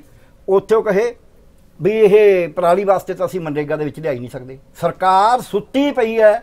ਮਨਰੇਗਾ ਦ- ਐਕਟ ਕਹਿੰਦਾ ਹੈ ਕਿ ਜਿਹੜੀ ਸਟੇਟ ਦਾ ਕੋਈ ਸਪੈਸਿਫਿਕ ਇਸ਼ੂ ਹੈ ਵਿਸ਼ੇਸ਼ ਇਸ਼ੂ ਹੈ ਉਹ ਲਿਆ ਜਾ ਸਕਦਾ ਉਹਨੂੰ ਮਨਰੇਗਾ ਦੇ ਰਾਹੀਂ ਦਿਹਾੜੀ ਦਿੱਤੀ ਜਾ ਸਕਦੀ ਹੈ। ਉਹ ਕਹਿੰਦੇ ਜੀ ਅਸੀਂ ਲਈ ਨਹੀਂ ਸਕਦੇ ਬਣਾਉਂਦੀ ਨਹੀਂ ਉੱਤੇ ਸੋ ਜਦ ਅਸੀਂ ਇਹ ਕਰ ਲਿਆ ਵੀ ਅਸੀਂ ਨਾ ਕਿਸਾਨ ਦੇ ਕਰਜ਼ੇ ਦੀ ਗੱਲ ਸੋਚਣੀ ਹੈ ਨਾ ਉਹਦੇ ਭਾਵਾਂ ਦੀ ਇੱਕ ਬਸ ਇੱਕ ਗੱਲ ਹੋਰ ਕਹਾਂਗਾ। ਕਿਸਾਨ ਦੀ ਆਮਦਨ ਪਿਛਲੇ ਸਮੇਂ 'ਚ 25% ਘਟੀ ਹੈ। ਵਧੀ ਨਹੀਂ ਹੈ। ਬਾਕੀਆਂ ਦੀ ਵਧੀ ਹੈ। ਕਿਹੜਾ ਮੁਲਾਜ਼ਮ ਜਿਹਦੀ ਤਨਖਾਹ ਵਧੀ ਨਹੀਂ ਹੈ? ਕਿਹੜਾ ਪੈਨਸ਼ਨਰ ਆ ਮੇਰੇ ਵਰਗਾ ਸਰੰਗਲ ਸਾਹਿਬ ਵਰਗਾ ਜਿਹਦੀ ਪੈਨਸ਼ਨ ਨਹੀਂ ਵਧੀ ਹੈ ਇਹ ਮਨਜੀਤ ਸਿੰਘ ਜੀ ਵਰਗਾ? ਕਿਸਾਨ ਦੀ ਆਮਦਨ 25% ਘਟੀ ਹੈ ਇਹ ਵੀ ਰਿਪੋਰਟ ਆ ਸਰਕਾਰ ਦੀ। ਇਹ ਕਿਸਾਨਾਂ ਦੀ ਰਿਪੋਰਟ ਨਹੀਂ ਹੈ। ਕਿਸਾਨ ਆਪਦੇ ਲੈਵਲ ਤੇ ਕੁਝ ਵੀ ਕਰ ਸਕਦੇ ਨੇ। ਇਹ ਸਰਕਾਰ ਦੀਆਂ ਰਿਪੋਰਟਾਂ ਦੱਸਦੀਆਂ ਨੇ। ਕੀ ਕੀ ਸੋਚਣਗੇ? ਇਸ ਕਰਕੇ ਸੋਚਣਾ ਜ਼ਰੂਰੀ ਹੈ। ਠੀਕ ਹੈ ਬਹੁਤ ਬਹੁਤ ਅਹਿਮ ਸਵਾਲ ਤੁਸੀਂ ਚੁੱਕਿਆ ਗਿਆ ਪ੍ਰੋਫੈਸਰ ਮਨਜੀਤ ਸਿੰਘ। ਇੱਕ ਜਿਹੜੀ ਗੱਲ ਹੁਣ ਇਸ ਮੰਚ ਤੇ ਆਈ ਹੈ ਕਿ ਸਰਕਾਰ ਗੱਲੀ ਬਾਤੀ ਸਾਰ ਰਹੀ ਹੈ। ਕਿ ਕਿਸਾਨ ਕਹਿੰਦਾ ਮੈਂ ਮਜਬੂਰ ਹੈਗਾ। ਅਸੀਂ ਕਿਸਾਨਾਂ ਨੂੰ ਬਿਲਕੁਲ ਇਹ ਇਸ ਗੱਲ ਤੋਂ ਪਾਸੇ ਛੱਡ ਦਈਏ ਕਿ ਕਿਸਾਨ ਮਜਬੂਰ ਹੈਗਾ ਤਾਂ ਉਹਦਾ ਅੱਗ ਲਾਊਗਾ ਹੀ ਲਾਊਗਾ। ਇੱਥੇ ਛੱਡ ਦਈਏ? ਨਹੀਂ ਨਹੀਂ ਇਸ ਤਰ੍ਹਾਂ ਨਹੀਂ ਹੈ। ਕਿਸਾਨ ਤੇ ਬਿਲਕੁਲ ਚਾਹੁੰਦੇ ਆ ਕਿ ਉਹ ਦੇਖੋ ਉਹ ਖੁਦ ਵੀ ਸਾਹ ਲੈਂਦੇ ਆ। ਉਹ ਆਪ ਇਸ ਗੱਲ ਦੇ ਵਿਕਟਮ ਹੈਗੇ ਆ। ਜੇ ਪਾਣੀ ਧਰਤੀ ਹਵਾ ਪ੍ਰਦੂਸ਼ਿਤ ਹੋਇਆ ਤੇ ਸਭ ਤੋਂ ਵੱਧ ਜਿਹੜਾ ਨੁਕਸਾਨ ਹੈ ਉਹ ਤੇ ਕਿਸਾਨਾਂ ਨੂੰ ਹੋ ਰਿਹਾ ਕੈਂਸਰ ਤੇ ਕਿਸਾਨਾਂ ਦੀ। ਸਿਹਤ ਸਮੱਸਿਆਵਾਂ ਵੀ ਬਹੁਤ ਵੱਡੀਆਂ ਹੈ ਉਹਦਾ ਕੋਈ ਜ਼ਿਕਰ ਨਹੀਂ ਹੁੰਦਾ। ਉਹਦਾ ਕਿਤੇ ਜ਼ਿਕਰ ਨਹੀਂ ਹੁੰਦਾਗਾ ਇਸੇ ਕਰਕੇ ਜੇ ਦੇਖੋ ਇਹ ਬੜੀ ਇੱਕ ਦੁੱਖ ਨਾਲ ਗੱਲ ਕਹਿਣੀ ਪੈਂਦੀ ਹੈ ਕਿ ਰੱਬ ਨੇ ਤਿੰਨ ਚੀਜ਼ਾਂ ਜੀਵਨ ਧਾਰਾ ਆ ਪਾਣੀ ਹਵਾ ਤੇ ਧਰਤੀ ਧਰਤੀ ਤੇ ਸਾਰਾ ਕੁਝ ਉਪਜਣਾ ਆ ਔਰ ਪਾਣੀ ਹਵਾ ਸਾਡੇ ਅਸੀਂ ਉਹਦੇ ਬਗੈਰ ਬਚ ਨਹੀਂ ਸਕਦੇ। ਔਰ ਤਿੰਨਾਂ ਤੇ ਹੀ ਪ੍ਰਾਈਵੇਟ ਕਾਰਪੋਰੇਟ ਸੈਕਟਰਾਂ ਨੇ ਉਹ ਤਬਾਹੀ ਮਚਾਈ ਉਹਨੂੰ ਪ੍ਰਾਈਵੇਟਾਈਜ਼ ਕਰਤਾ। ਹੁਣ ਤੇ ਹਾਲਤ ਤੇ ਇਹ ਹੈ ਕਿ ਸਮੁੰਦਰ ਦੇ ਕਿਨਾਰੇ ਜਿਹੜੀਆਂ ਬੀਚੇਸ ਹੈ ਜਿਹੜੀਆਂ ਜਿੱਥੇ ਲੋਕ ਖੁੱਲ ਕੇ ਜਾਂਦੇ ਸੀ ਉਹ ਵੀ ਪ੍ਰਾਈਵੇਟਾਈਜ਼ ਕਰ ਰਹੇ ਕਰ ਰਹੇ ਆ। ਉੱਥੇ ਵੀ ਲੋਕਾਂ ਦਾ ਜਾਣਾ ਜਾਣੀ ਸਮੁੰਦਰ ਤੇ ਵੀ ਇਹੋ ਜਿਹੇ ਕਬਜ਼ੇ ਕਾਰਪੋਰੇਟ ਜਮਾ ਰਹੇ ਆ ਆਪਣੇ ਪੈਸਿਆਂ ਲਈ। ਮੇਰਾ ਮੈਂ ਇਹ ਕਹਿਣਾ ਕਿ ਘੱਟੋ ਘੱਟ ਇਹਨੂੰ ਤੇ ਬਖਸ਼ ਦਿਓ। ਇਹ ਤੇ ਸਾਰੀ ਧਰਤੀ ਜਿਹੜੀ ਰੱਬ ਨੇ ਬਣਾਈ ਚੀਜ਼ ਹੈ ਉਹਦੇ ਤੇ ਸਾਰਿਆਂ ਨੂੰ ਸਾਂਝਾ ਹਿੱਸਾ ਬਰਾਬਰ ਦਾ ਹੋਣ ਦਿਓ ਔਰ ਸਾਰਿਆਂ ਦੀ ਜ਼ਿੰਮੇਵਾਰੀ ਹੋਵੇ ਇਹਨੂੰ ਬਚਾਉਣ ਦੀ। ਕੁਛ ਤੇ ਤਬਾਹੀ ਕਰੀ ਜਾਣ ਪਰ ਨਿਊਕਲੀਅਰ ਬੰਬ ਦੀਆਂ ਗੱਲਾਂ ਤੋਂ ਲੈ ਕੇ ਹੋਰ ਤੱਕ ਔਰ ਬਾਕੀ ਦੇ ਜਿਹੜੇ ਕਿਸਾਨ ਆ ਜਿਸ ਤਰ੍ਹਾਂ ਪਿਆਰੇ ਲਾਲ ਜੀ ਕਹਿ ਰਹੇ ਆ ਉਹਨਾਂ ਤੇ ਸਾਰੇ ਮੋਢਿਆਂ ਦੇ ਭਾਰ ਪਾ ਦਿਓ ਕਿ ਇਹ ਹੁਣ ਸਾਡੀ ਧਰਤੀ ਨੂੰ ਵੀ ਔਰ ਪਾਣੀ ਨੂੰ ਵੀ ਔਰ ਇਹ ਬਚਾ ਕੇ ਮੈਨੂੰ। ਥੋੜਾ ਸਮਝਾਓ ਤੁਸੀਂ। ਅਸੀਂ ਕਹਿੰਦੇ 65 ਤੋਂ 70% ਸਾਡਾ ਕਿਸਾਨ ਹੈਗਾ ਪੂਰੇ ਮੁਲਕ ਦੇ ਵਿੱਚ। ਕਿਸਾਨਾਂ ਲਈ ਹੀ ਇਹੋ ਜੀ ਨੀਤੀ ਕਿਉਂ ਨਹੀਂ ਬਣਦੀ? ਕਿ ਉਹ ਕਿਸਾਨ ਸਰਵਾਈਵ ਕਰ ਸਕੇ? ਨਹੀਂ ਨਹੀਂ ਨਹੀਂ ਕੋਈ ਨੀਤੀ ਦੇਖੋ ਇਹ ਨਹੀਂ ਹੈ ਕਿ ਅਣਜਾਣੇ ਚ ਹੋ ਰਿਹਾ। ਕੋਈ ਬੇਵਕੂਫ ਨਹੀਂ ਹੈ। ਆ ਜਿੰਨੇ ਹੁਣ ਪਿੱਛੇ ਰਾਹਤਾਂ ਦਿੱਤੀਆਂ ਕਿਹਨੂੰ ਦਿੱਤੀਆਂ? 176000 ਕਰੋੜ ਜਦੋਂ ਆਰਬੀਆਈ ਚੋਂ ਰਿਜ਼ਰਵ ਬੈਂਕ ਚੋਂ ਕੱਢਿਆ ਕਿਹਨੂੰ ਕਿਹਨੂੰ ਦੇ ਰਹੇ ਆ? ਬੈਂਕਾਂ ਨੂੰ ਦੇ ਰਹੇ ਆ ਕਿ ਜਾ ਕੇ ਕਾਰਪੋਰੇਟਾਂ ਨੂੰ ਦਿਓ? ਦੋ ਤਿੰਨ ਵਾਰੀ ਚਾਰ ਵਾਰੀ ਜਿਹੜਾ ਉਹਨਾਂ ਨੇ ਉਹਨਾਂ ਦਾ ਜਿਹੜਾ ਰੈਪੋ ਰੇਟ ਜਿਹੜਾ ਥੱਲੇ ਕਰ ਦਿੱਤਾ। ਕਿਹਨੂੰ ਫਾਇਦਾ ਕਰ ਲਈ? ਇਹਨਾਂ ਦੀ ਇਹਨਾਂ ਦੀ ਗਲਤੀ ਹੈ ਇਹਨਾਂ ਦੀ ਗਿਣਤੀ ਜ਼ਿਆਦਾ ਹੈ। ਇਹਨਾਂ ਦੀ ਗਲਤੀ ਇਹਨਾਂ ਦੀ ਗਿਣਤੀ ਜ਼ਿਆਦਾ ਹੈ? ਜਾਂ ਇਹਨਾਂ ਦੀ ਗਲਤੀ ਇਹ ਹੈ ਕਿ ਕਮਜ਼ੋਰ ਹੈ? ਇਹਨਾਂ ਨੂੰ ਸਰਕਾਰਾਂ। ਨੇ ਸਰਕਾਰਾਂ ਦੇਖੋ ਸਭ ਦਾ ਮਾਈ ਬਾਪ ਹੁੰਦੀਆਂ। ਉਹਨਾਂ ਨੇ ਸਭ ਨੂੰ ਦੇਖਣਾ ਹੁੰਦਾ। ਪਰ ਇਸ ਵੇਲੇ ਸਰਕਾਰਾਂ ਕਾਰਪੋਰੇਟਾਂ ਨਾਲ ਮੀਟਿੰਗਾਂ ਕਰਕੇ ਉਹਨਾਂ ਦੇ ਢਿੱਡ 'ਚ ਕੀ ਪੀੜ ਹੈ ਉਹਦਾ ਤੇ ਇਲਾਜ ਕਰ ਰਹੀ ਆ। ਇਹਨਾਂ ਨੂੰ ਅਨਾਥ ਕੀਤਾ। ਹੈ। ਇਹਨਾਂ ਨੂੰ ਆ ਕਿ ਆਪਣੇ ਆਪ ਆਪਣਾ ਸਾਰ ਲੈਣਗੇ। ਇਹਨਾਂ ਦਾ ਤੇ ਕਿਤੇ ਉੱਥੇ ਨਾਂ ਵੀ ਨਹੀਂ ਚੱਲਦਾ। ਮੋٹے ਤੌਰ ਤੇ ਜਿਹੜੇ ਤੁਸੀਂ ਗੱਲ ਕਹਿ ਰਹੇ ਆ ਜਿਹੜਾ ਪਰਾਲੀ ਦਾ ਪੰਗਾ ਇਹਨੇ ਕਿਸਾਨਾਂ ਦਾ ਧੂਆਂ ਕੱਢਿਆ ਆ। ਦਿੱਲੀ 'ਚ ਤੇ ਧੂਆਂ ਬਾਅਦ 'ਚ ਜਾਊ ਇੱਥੇ ਧੂਆਂ ਨਿਕਲ ਗਿਆ ਹੋਇਆ। ਉੱਥੇ ਦਿੱਲੀ ਤੋਂ ਦਿੱਲੀ ਦਿੱਲੀ 'ਚ ਥੋੜੀ ਸਥਿਤੀ ਸੁਧਰੀ ਹੈਗੀ ਆ ਤੇ ਉਹਦੇ ਉਹਦੇ ਵੀ ਕ੍ਰੈਡਿਟ ਬਾਅਦ ਸ਼ੁਰੂ ਹੋ ਗਈ ਆ। ਉਧਰੋਂ ਕੇਜਰੀਵਾਲ ਸਾਹਿਬ ਕਹਿ ਰਹੇ ਆ ਕਿ ਪਰਾਲੀ ਰੋਕ ਲਵੇ ਪਰਾਲੀ ਦਾ ਧੂਆਂ ਰੋਕ ਲਵੇ ਇੱਕ ਬੀਜੇਪੀ। ਗੱਲ ਸਮਝਣੀ ਚਾਹੀਦੀ ਹੈ ਇੱਥੇ। ਇਹੀ ਕਿਸਾਨ ਆ ਸਾਡੇ ਵੀਰ ਬੈਠੇ ਹੋਏ ਆ ਇੱਥੇ। ਜਿਹੜਾ ਪਰਾਲੀ ਆਈ ਕਿੱਥੋਂ? ਸਾਡੇ ਦੇ ਇੱਥੇ ਕੋਈ ਧਾਨ ਬੀਜਦਾ ਹੀ ਨਹੀਂ ਸੀ। ਸਾਡੇ ਤੇ ਕਣਕ ਬੀਜਦੇ ਸੀਗੇ ਨਰਮਾ ਸੀ ਕਿ ਹੋਰ ਸੀ ਸ਼ੂਗਰ ਕੈਨ ਸੀ ਇਹ ਸਾਰਾ ਸੀਗਾ। ਇਹਨਾਂ ਨੇ ਲਿਆ ਕੇ ਪਰਾਲੀ ਸਾਡੇ ਤੇ ਥੋਪੀ। ਹੁਣ ਕਹਿੰਦੇ ਕਿ ਸਾਡੇ ਅੱਖਾਂ ਨੂੰ ਧੂਆਂ ਲੱਗਦਾ। ਤੁਸੀਂ ਆਪਣਾ ਲੈ ਜਾਓ ਧਾਨ ਚੁੱਕ ਕੇ ਕਿਸਾਨ ਨਿਕਲਣਾ ਚਾਹੁੰਦੇ ਹਨ ਤੋਂ? ਬਿਲ ਬਿਲਕੁਲ ਨਿਕਲ ਕਿਸਾਨ ਨਿਕਲਣਾ ਚਾਹੁੰਦੇ ਆ। ਵਿਕਲਪ ਦੀ ਕੋਈ ਫਸਲ ਤੇ ਦਿਓ ਕੋਈ ਦੇ ਹੀ ਨਹੀਂ ਰਿਹਾ। ਡਟ ਕਰ ਡਟ ਕਰ ਸਾਂਝੀ ਖੇਤੀ ਕੋਈ ਹੱਲ ਹੈ? ਬਿਲਕੁਲ ਇੱਕ ਹੱਲ ਹੈ। ਪਹਿਲੀ ਗੱਲ ਮੈਂ ਪ੍ਰੋਫੈਸਰ ਸਾਹਿਬ ਦੀ ਗੱਲ ਨਾਲ ਇਹ ਨਹੀਂ ਸਰਕਾਰਾਂ ਕੋਈ ਮਾਈ ਬਾਪ ਨਹੀਂ ਹੁੰਦੀਆਂ। ਸਰਕਾਰਾਂ ਦੀ ਡਿਊਟੀ ਹੈ ਕਿ ਇਨਸਾਫ ਨਾਲ ਬਜਟ। ਲਗਾਇਆ ਜਾਵੇ। ਇਨਸਾਫ ਕਰਿਆ ਜਾਵੇ। ਜਿੱਥੇ 70% ਆਬਾਦੀ ਜਿੱਥੇ ਅੱਜ ਪੰਜਾਬ ਦੇ 35% ਜਿਹੜੇ ਕਾਮੇ ਨੇ ਪੰਜਾਬ ਦੇ ਵੀ ਜਿੱਥੇ ਇੰਨੀ ਮੈਕਨਾਈਜ਼ਡ ਹੋ ਚੁੱਕੀ ਉਹ ਵੀ ਐਗਰੀਕਲਚਰ ਦੇ ਵਿੱਚ ਨੇ। ਇੰਡਸਟਰੀ ਤੇ ਬਾਕੀ ਦੁਕਾਨਾਂ 'ਚ ਨੇ ਛੋਟੀਆਂ 'ਚ ਛੋਟੀਆਂ ਰੇਹੜੀਆਂ ਰਿਕਸ਼ਿਆਂ ਤੇ ਹੈਗੇ ਨੇ। ਵੱਡੀ ਇੰਡਸਟਰੀ ਦਾ ਕੰਮ ਹੀ ਬਹੁਤ ਥੋੜਾ ਤੇ ਜੇ ਤੁਸੀਂ ਉੱਥੇ ਇਨਵੈਸਟਮੈਂਟ ਕਰੀ ਜਾਂਦੇ ਹੋ ਕੰਮ ਨਹੀਂ ਲੋਕਾਂ ਨੂੰ ਮਿਲਣਾ। ਜਿਹੜਾ ਕਿਸਾਨ ਇੰਨਾ ਕੰਮ ਕਰਦਾ ਹੈ ਤੁਸੀਂ ਉਹਦੇ ਨਾਲ ਕਿਉਂਕਿ ਉਹਦੀ ਜ਼ਮੀਨ ਤੁਸੀਂ ਹੜੱਪਣਾ ਚਾਹੁੰਦੇ ਹੋ। ਤੁਸੀਂ ਵੱਡੀਆਂ ਕਾਰਪੋਰੇਟ ਸੈਕਟਰ ਨੂੰ ਉਹਦੀ ਜ਼ਮੀਨ ਦੇਣਾ ਚਾਹੁੰਦੇ ਹੋ ਕਦੇ ਬਹਾਨੇ ਨਾਲ ਠੇਕੇ ਤੇ ਖੇਤੀ ਕਰਾ ਕੇ ਕੁਛ। ਬਿਲਕੁਲ ਠੀਕ ਹੈ ਤੁਹਾਡਾ। ਕੋਆਪਰੇਟਿਵ ਫਾਰਮਿੰਗ ਇਹਦਾ ਇੱਕ ਆਨਸਰ ਹੈਗਾ। ਪਰ ਕੋਆਪਰੇਟਿਵ ਫਾਰਮਿੰਗ ਕਿਵੇਂ ਹੋਊਗੀ? ਜੇ ਸਰਕਾਰ ਦੀ ਮਨਸ਼ਾ ਹੋਏਗੀ ਇਹਨੂੰ ਇੱਕ ਮੂਵਮੈਂਟ ਬਣਾਈ ਜਾਏਗੀ। ਸਰਕਾਰ ਦੀ ਮਨਸ਼ਾ ਤਾਂ ਅੱਜ ਕਿਸਾਨ ਨੂੰ ਬਚਾਉਣਾ ਹੈ ਨਹੀਂ। ਜੇ ਕਿਸਾਨ ਜਥੇਬੰਦੀਆਂ ਮੈਂ ਇੱਕ ਲਾਈਨ ਚ ਕਹਾਂਗਾ। ਜੇ ਕਿਸਾਨ ਜਥੇਬੰਦੀਆਂ ਨੇ ਕੀ ਗੁਨਾਹ ਕਰਿਆ ਸੀ ਕਿ ਦਿੱਲੀ ਚ ਜਾ ਕੇ ਜੰਤਰ ਮੰਤਰ ਤੇ ਉਹ ਇੰਨੇ ਹੀ ਕਹਿੰਦੀਆਂ ਨੇ ਕਿ ਪਾਰਲੀਮੈਂਟ ਦਾ ਇੱਕ ਸੈਸ਼ਨ ਸੱਦ ਲਓ। 15 ਦਿਨ ਤੁਸੀਂ ਖੇਤੀ ਦੀ ਗੱਲ ਕਰ ਲਓ ਪੂਰੇ ਹਿੰਦੁਸਤਾਨ ਦੀ ਉਹਦੇ ਉੱਤੇ ਕੋਈ ਨੀਤੀ ਬਣਾ ਲਓ। ਉਹ ਕਹਿੰਦੇ ਅਸੀਂ ਤਾਂ ਬਣਾਣੀ ਨਹੀਂ। ਇਦੋਂ ਵੱਡੀ ਜ਼ਿਆਦਤੀ ਇਦੋਂ ਵੱਡੀ ਕਹਿਰ ਕਾਫਰੀ ਇਦੋਂ ਵੱਡੀ ਬੇਇਨਸਾਫੀ ਕਿਤੇ ਹੋ ਸਕਦੀ ਹੈ? ਠੀਕ ਠੀਕ ਹੈ। ਸਿੱਧੂਪੁਰ ਸਾਹਿਬ ਆਪਣੇ ਥੇੜੀ ਸਾਹਿਬ ਤੁਸੀਂ ਸਿੱਧੂਪੁਰ ਨੂੰ ਬਿਲੋਂਗ ਕਰਦੇ ਹੋਗੇ ਯੂਨੀਅਨ ਜ਼ਿਆਦਾ ਹੋ ਗਈਆਂ ਮੈਂ ਤਾਂ ਕਈ ਨਾਮ ਹੀ ਭੁੱਲ ਜਾਂਦਾ ਸਿੱਧੂਪੁਰ ਲਖੋਵਾਲ ਰਾਜੇਵਾਲ ਪਤਾ ਨਹੀਂ ਕਿੰਨੇ ਨਾਮ ਲੈਣੇ ਹੈ ਕੋਈ ਏਕਤਾ ਡਕੌਂਦਾ ਉਗਰਾ ਮੈਂ ਮੈਂ ਵੀ ਭੁੱਲ ਜਾਂਦਾ ਕਈ ਵਾਰੀ। ਯੂਨੀਅਨ ਵਿੱਚ ਏਕਾ ਨਹੀਂ ਹੈਗਾ ਇਸ ਲਈ ਸਰਕਾਰ ਹੈ ਜਿਹੜੀ ਉਹ ਵੰਡ ਵੰਡ ਕੇ ਯੂਨੀਅਨ ਨੂੰ ਠੋਕਦੀ ਪਈ ਹੈ। ਦੇਖੋ ਮੈਂ ਮੈਂ ਇਸ ਗੱਲ ਨੂੰ ਨਹੀਂ ਮੰਨੂਗਾ। ਹਾਂ, ਯੂਨੀਅਨਾਂ ਚਾਹੇ ਹੋਰ ਜ਼ਿਆਦਾ ਹੋ ਜਾਣ ਹਾਂ। ਪਰ ਉਹ ਲੜਦੀਆਂ ਤਾਂ ਕਿਸਾਨ ਵਾਸਤੇ ਹੀ ਆ ਆਪਣੇ ਆਪਣੇ ਢੰਗ ਨਾਲ ਲੜਦੀਆਂ। ਕਿਸਾਨ ਨਾਲ ਜ਼ਿਆਦਤੀ ਉਹ ਇੰਨੀ ਜ਼ਿਆਦਾ ਹੋ ਗਈ ਆ ਜਿਸ ਤਰ੍ਹਾਂ ਮੇਰੇ ਤੋਂ ਪਹਿਲਾਂ ਕਿਹਾ ਗਿਆ ਹੈ ਕਿ ਕਾਰਪੋਰੇਟ ਘਰਾਣਿਆਂ ਨੂੰ ਜ਼ਮੀਨਾਂ ਦੇਣੀ ਚਾਹੁੰਦੀ ਹੈ। ਸਰਕਾਰ ਵੀ 2-4 ਕਿੱਲੇ ਵਾਲੇ ਨੂੰ ਖੇਤੀ ਕਰਨ ਵਾਲੇ ਨੂੰ ਖੇਤੀ ਚੋਂ ਕੱਢੋ। ਉਹਦਾ ਕਾਰਨ ਮੈਂ ਤੁਹਾਨੂੰ ਦੱਸਦਾ ਹਾਂ ਕਿ 5 ਲੱਖ ਰੁਪਈਆ 1 ਏਕੜ ਤੇ ਲਿਮਟਾਂ ਬਣਾ ਦਿੱਤੀਆਂ। ਜਦੋਂ ਕਿਸਾਨ ਦੀ ਆਮਦਨ ਆ ਜਿਹੜੀ ਉਹ 60000 ਤੋਂ ਵੱਧ ਨਹੀਂ ਕਿੱਲੇ ਦੀ ਉਹ ਤਾਂ ਉਹਦਾ ਵਿਆਜ ਵੀ ਨਹੀਂ ਭਰ ਸਕਦਾ ਉਹ ਲਿਮਟ ਜਿਹੜੀ ਲੈ ਲਈ ਉਹਨੂੰ ਕਦ ਭਰੂਗਾ। ਇਹ ਇੱਕ ਲੰਬੇ ਟਾਈਮ ਦੀ ਗੱਲ ਹੈ ਵੀ ਜ਼ਮੀਨਾਂ ਜਦੋਂ ਬੈਂਕ ਉਹਨਾਂ ਦੀਆਂ ਕੁਰਕ ਕਰਨਗੇ ਫਿਰ ਇੱਥੇ ਵੱਡੇ ਵੱਡੇ ਫਾਰਮ ਬਣਾਏ ਜਾਣ। ਇਸ ਕਰਕੇ ਕਿਸਾਨ ਵਾਸਤੇ ਇਹਦਾ ਸੋਚਿਆ ਹੀ ਨਹੀਂ ਜਾਂਦਾ ਨਹੀਂ ਅਸੀਂ। ਪਰਾਲੀ ਪਰਾਲੀ ਸਾੜਨ ਤੋਂ ਕਾਰਪੋਰੇਟ ਮਾਡਲ ਤੱਕ ਕਿਵੇਂ ਪਹੁੰਚ ਗਏ ਉਹ ਪਹੁੰਚ ਇਹ ਵੀ ਕਿ ਇਹ ਪਰਾਲੀ ਜੇ ਸਾੜਾਂਗੇ। ਸਾਡੀ ਆਮਦਨ ਹੋਰ ਘਟੂਗੀ। ਕਿਸਾਨ ਦੇ ਜੁਮੇ ਕਰਜ਼ਾ ਹੋਰ ਵਧੂਗਾ ਇਸ ਕਰਕੇ ਪਹੁੰਚਣਾ ਪੈਂਦਾ ਨਾ ਇਸ। ਸਾਰੇ ਪਹੁੰਚਣਾ ਪੈਂਦਾ ਤੇ ਦੂਜਾ ਮਸਲਾ ਮੈਂ ਇਹਨਾਂ ਨੂੰ ਇਹ ਵੀ ਪੁੱਛਣਾ ਚਾਹੁੰਦਾ ਹੈ ਜਿਹੜੀ ਇਹ ਅੱਜ 221 ਤੇ ਲੈ ਕੇ 300 ਫੁੱਟ ਦੇ ਰਾਵਣ ਬਣੇ ਆ ਉਹ ਸਰਕਾਰ ਕਿੱਥੇ ਸੁੱਤੀ ਪਈ ਹੈ ਉਹ ਅੱਗੇ 20 ਫੁੱਟ ਦਾ ਜਾਂ 25 ਫੁੱਟ ਦਾ ਹੁੰਦਾ ਸੀ, ਹੁਣ 200 ਫੁੱਟ ਨੂੰ ਕਿਉਂ ਟੱਪ ਗਿਆ? ਅੱਜ ਕਿਉਂ ਸਰਕਾਰ ਉਹਨਾਂ ਦੇ ਉਦਘਾਟਨ ਕਰਨ ਜਾਣਗੇ ਮੰਤਰੀ? ਉਹਨਾਂ ਨੂੰ ਕਿਉਂ ਨਹੀਂ ਪਤਾ ਵੀ ਇਹਦੇ ਵਿੱਚ ਪਰਾਲੀ ਹੈ ਇਹਦੇ ਵਿੱਚ ਪਟਾਕੇ ਹੈ ਇਹਦੇ ਵਿੱਚ ਹੋਰ ਚੀਜ਼ਾਂ ਉਹਨੂੰ ਕਿਉਂ ਅੱਗ ਲਾਉਣ ਜਾਂਦੇ ਹੈ ਪੈਮਾਨਾ ਵੱਖਰਾ ਹੈਗਾ ਪ੍ਰਦੂਸ਼ਣ ਤੇ ਪੈਮਾਨਾ ਵੱਖਰਾ ਹੈਗਾ ਸਰਕਾਰ ਦਾ ਹਾਂ ਸਰਕਾਰ ਸਰਕਾਰ ਚਾਹੁੰਦੀ ਆ ਇਹ ਚੀਜ਼ਾਂ ਵੀ। ਕਿਸਾਨ ਨੂੰ ਜਿੰਨਾ ਰਗੜ ਹੁੰਦਾ ਰਗੜ ਦੋ। ਠੀਕ ਹੈ ਹੋਰ ਛੋਟਾ ਬ੍ਰੇਕ ਲਵਾਂਗੇ ਬ੍ਰੇਕ ਤੋਂ ਵਾਪਸ ਆਵਾਂਗੇ। ਪ੍ਰਦੂਸ਼ਣ ਰੋਕਣ ਦੇ ਖਿਲਾਫ ਸਰਕਾਰ ਦਾ ਪੈਮਾਨਾ ਵੱਖਰਾ ਵੱਖਰਾ ਕਿਉਂ ਹੈਗਾ? ਸਰਕਾਰ ਵੱਖਰੇ ਤਰੀਕੇ ਨਾਲ ਕਿਉਂ ਸੋਚਦੀ ਹੈਗੀ? ਜਿਹੜਾ ਸਵਾਲ ਥੇੜੀ ਸਾਹਿਬ ਨੇ ਚੁੱਕਿਆ ਹੈਗਾ ਉਹ ਸਵਾਲ ਦੇ ਵਿੱਚ ਵਜ਼ਨ ਆਪਣੇ ਆਪ ਵਿੱਚ ਵੱਧ ਜਾਂਦਾ ਜਦੋਂ ਸਰਕਾਰੀ ਨੁਮਾਇੰਦੇ ਜਾਂ ਸਿਆਸੀ ਆਗੂ ਅਸੀਂ ਕਹੀਏ ਕਿ ਰਿਮੋਟ ਫੜ ਕੇ ਖੁਦ ਜਿਹੜੇ ਅੱਗ ਲਾਉਂਦੇ ਹੈਗੇ ਆ ਤੇ ਜਦੋਂ ਅੱਗ ਲਾਉਂਦੇ ਹੈਗੇ ਆ ਉਸ ਅੱਗ ਦੇ ਖਿਲਾਫ ਕੋਈ ਕਾਰਵਾਈ ਨਹੀਂ ਕਿਉਂਕਿ ਉੱਥੇ ਭਾਵਨਾਵਾਂ ਜੁੜੀਆਂ ਹੋਈਆਂ ਹੈਗੀਆਂ। ਤੇ ਜਦੋਂ ਕਿਸਾਨ ਅੱਗ ਲਾਉਂਦੇ ਹੈਗੇ ਆ, ਉੱਥੇ ਫਿਰ ਕਿਸਾਨ ਦੀ ਮਜਬੂਰੀ ਦੇਖਣ ਵਾਲਾ ਕੋਈ ਨਹੀਂ, ਉੱਥੇ ਫਿਰ ਲਾਲ ਫੀਤਾ ਸ਼ਾਹੀ ਦੀ ਡਿਊਟੀ ਲਾ, ਲਗਾ ਦਿੱਤੀ ਜਾਂਦੀ। ਹੈ ਤੋਂ ਵਾਪਸ ਆ ਕੇ ਹੋਰ ਸਵਾਲ ਕਰਾਂਗੇ। ਅਸੀਂ ਸਵਾਲ ਇੱਕੋ ਪੁੱਛ ਰਹੇ ਦਿਨ ਬ ਦਿਨ ਵਾਧੇ ਪ੍ਰਦੂਸ਼ਣ ਖਿਲਾਫ ਸਰਕਾਰਾਂ ਦੀ ਇੱਛਾ ਸ਼ਕਤੀ ਤੇ ਸਵਾਲ ਕਿਉਂ ਹੈ ਸਰੰਗਲ ਸਾਹਿਬ, ਮੈਂ ਸਵਾਲ ਤੁਹਾਡੇ ਲਈ ਔਖਾ ਹੈਗਾ ਇਹ, ਪਰ ਮੈਨੂੰ ਲੱਗਦਾ ਤੁਹਾਡੇ ਤੋਂ ਬਿਹਤਰ ਕੋਈ ਜਵਾਬ ਨਹੀਂ ਦੇ ਸਕਦਾ ਹੁੰਦਾ। ਸਰੰਗਲ ਸਾਹਿਬ, ਜਦੋਂ ਡੀਸੀ ਸਾਹਿਬ ਆਪਣੇ ਆਪਣੇ ਜ਼ਿਲ੍ਹਿਆਂ 'ਚ ਤਾਇਨਾਤ ਹੁੰਦੇ ਆ, ਤੁਸੀਂ ਵੀ ਡੀਸੀ ਰਹੇ ਹੈਗੇ ਆ, ਉਦੋਂ ਜਦੋਂ ਰਾਵਣ ਸਾੜੇ ਜਾਂਦੇ ਆ ਜਾਂ ਪਟਾਕੇ ਉੱਥੇ ਚਲਾਏ ਜਾਂਦੇ ਹੈਗੇ ਆ, ਉਦੋਂ ਡੀਸੀ ਸਾਹਿਬ ਦਾ ਅਖਤਿਆਰ ਕਿੰਨਾ ਕੁ ਹੁੰਦਾ? ਡੀਸੀ ਸਾਹਿਬ ਰੋਕ ਸਕਦੇ ਆ? ਨਹੀਂ ਰੋਕ ਸਕਦੇ, ਜਾਂ ਸਿਰਫ ਇੰਨਾ ਹੀ ਕਹਿ ਸਕਦੇ ਆ, ਭਾਈ, ਇੱਥੇ ਤੂੰ ਸਟਾਲ ਨਾ ਲਾ ਆਪਦੀ ਪਟਾਕਿਆਂ ਦੀ, ਪਿੱਛੇ ਲਾ ਲਾ, ਜਾਂ ਜਿਹੜੀ ਪਟਾਕਾ ਮਾਰਕੀਟ ਦੀ ਵੱਖਰੀ ਬਣਾਈ ਆ, ਉੱਥੇ ਲਾ ਲਾ। ਸਿਰਫ ਇੱਥੋਂ ਤੱਕ ਸੀਮਤ ਹੁੰਦਾ, ਉਹ ਪ੍ਰਦੂਸ਼ਣ ਨਹੀਂ ਹੁੰਦਾ? ਅਸੀਂ ਉਹਨੂੰ ਕਾਊਂਟਰ ਹੀ ਕਰਦੇ ਕਿ ਅਦਾਲਤਾਂ ਜਦੋਂ ਦਖਲਦਾਜ਼ੀ ਕਰਨਗੀਆਂ, ਉਸ ਤੋਂ ਬਾਅਦ ਡੀਸੀ ਸਾਹਿਬ ਵੀ ਜਾਗਦੇ ਆ ਤੇ ਸਰਕਾਰਾਂ ਵੀ ਜਾਗਦੀਆਂ। ਅਜੇ ਤਾਂ ਮੇਰਾ ਖਿਆਲ ਹੈ ਇਸ ਮਸਲੇ ਨਾਲ ਕਿਉਂਕਿ ਧਾਰਮਿਕਤਾ ਜੁੜੀ ਹੋਈ ਹੈ, ਔਰ ਐਡਮਿਨਿਸਟ੍ਰੇਸ਼ਨ ਜਿਹੜੀ ਹੈਗੀ ਹੈ, ਇਹਦੇ ਨਾਲ ਬਹੁਤ ਜ਼ਿਆਦਾ ਜਿਹੜਾ ਹੈਗਾ ਇਹਦੇ ਚ ਕਨਫਲਿਕਟ ਵਾਲੀ ਸਿਚੁਏਸ਼ਨ ਨੂੰ ਅਵੋਇਡ ਕਰਦੇ ਹੋਏ ਹਾਲਾਂਕਿ ਸਾਰੇ ਹੁਣ ਦੀਵਾਲੀ ਵੀ ਆਣੀ ਪਟਾਕੇ ਲਾਉਣ ਦੀ ਕਿ ਕਿੰਨੀ ਜਗ੍ਹਾ ਚਲਾਣੇ ਆ ਕਿੱਥੇ ਕਿੱਥੇ ਰਾਮਲੀਲਾ ਕਰਨੀ ਹੈ ਲਾਇਸੈਂਸ ਕਿਹਨੂੰ ਮਿਲੇ ਹਾਂ, ਕਿਹਨੂੰ ਨਹੀਂ ਮਿਲੇ ਹੈ ਆ। ਕਿਹਨੂੰ ਨਹੀਂ ਮਿਲੇ ਹੈ। ਇਹ ਸਾਰੀ ਪਰਮਿਸ਼ਨ ਜਿਹੜੀ ਹੈ ਡਿਸਟ੍ਰਿਕਟ ਮੈਜਿਸਟ੍ਰੇਟ ਵੱਲੋਂ ਦਿੱਤੀ ਜਾਂਦੀ ਹੈ ਔਰ ਯਾਨੀ ਕਿ ਆਪ ਲਾਇਸੈਂਸ ਦਿੱਤਾ ਜਾਂਦਾ ਭਾਈ ਸਾੜੋ ਅੱਗ ਲਾਓ ਲਾਇਸੈਂਸ ਦਿੱਤਾ ਜਾਂਦਾ ਦੇਖੋ ਅਸੀਂ ਵੀ ਡਿਪਟੀ ਕਮਿਸ਼ਨਰ ਰਹੇ ਹਾਂ ਇਸ ਸਮੇਂ ਦੇ ਵਿੱਚ ਜਿੰਨੇ ਵੀ ਛੋਟੇ ਵੱਡੇ ਪੋਲੀਟੀਸ਼ੀਅਨ ਨੇ ਉਹਨਾਂ ਦੀਆਂ ਸਿਫਾਰਸ਼ਾਂ ਉਹ ਪਾਰਟੀਆਂ ਨੂੰ ਲੈ ਲੈ ਕੇ ਤੇ ਆਪ ਦਸਤਾਂ ਚ ਆ ਕੇ ਬਹਿਸ ਬਸਈਆ ਕਰਕੇ ਦਵਾ ਲੈਂਦੇ ਨੇ ਇਹਦੇ ਚ ਹੋਰ ਵੀ ਕਈ ਸਾਰੀਆਂ ਚੀਜ਼ਾਂ ਚਲੋ involved ਇਹ ਨੇ। ਤੁਸੀਂ ਸੱਚ ਦੱਸਿਆ ਹੈਗਾ ਮੈਂ ਵੈਲਕਮ ਕਰਦਾ ਤੁਹਾਡੇ ਇਸ।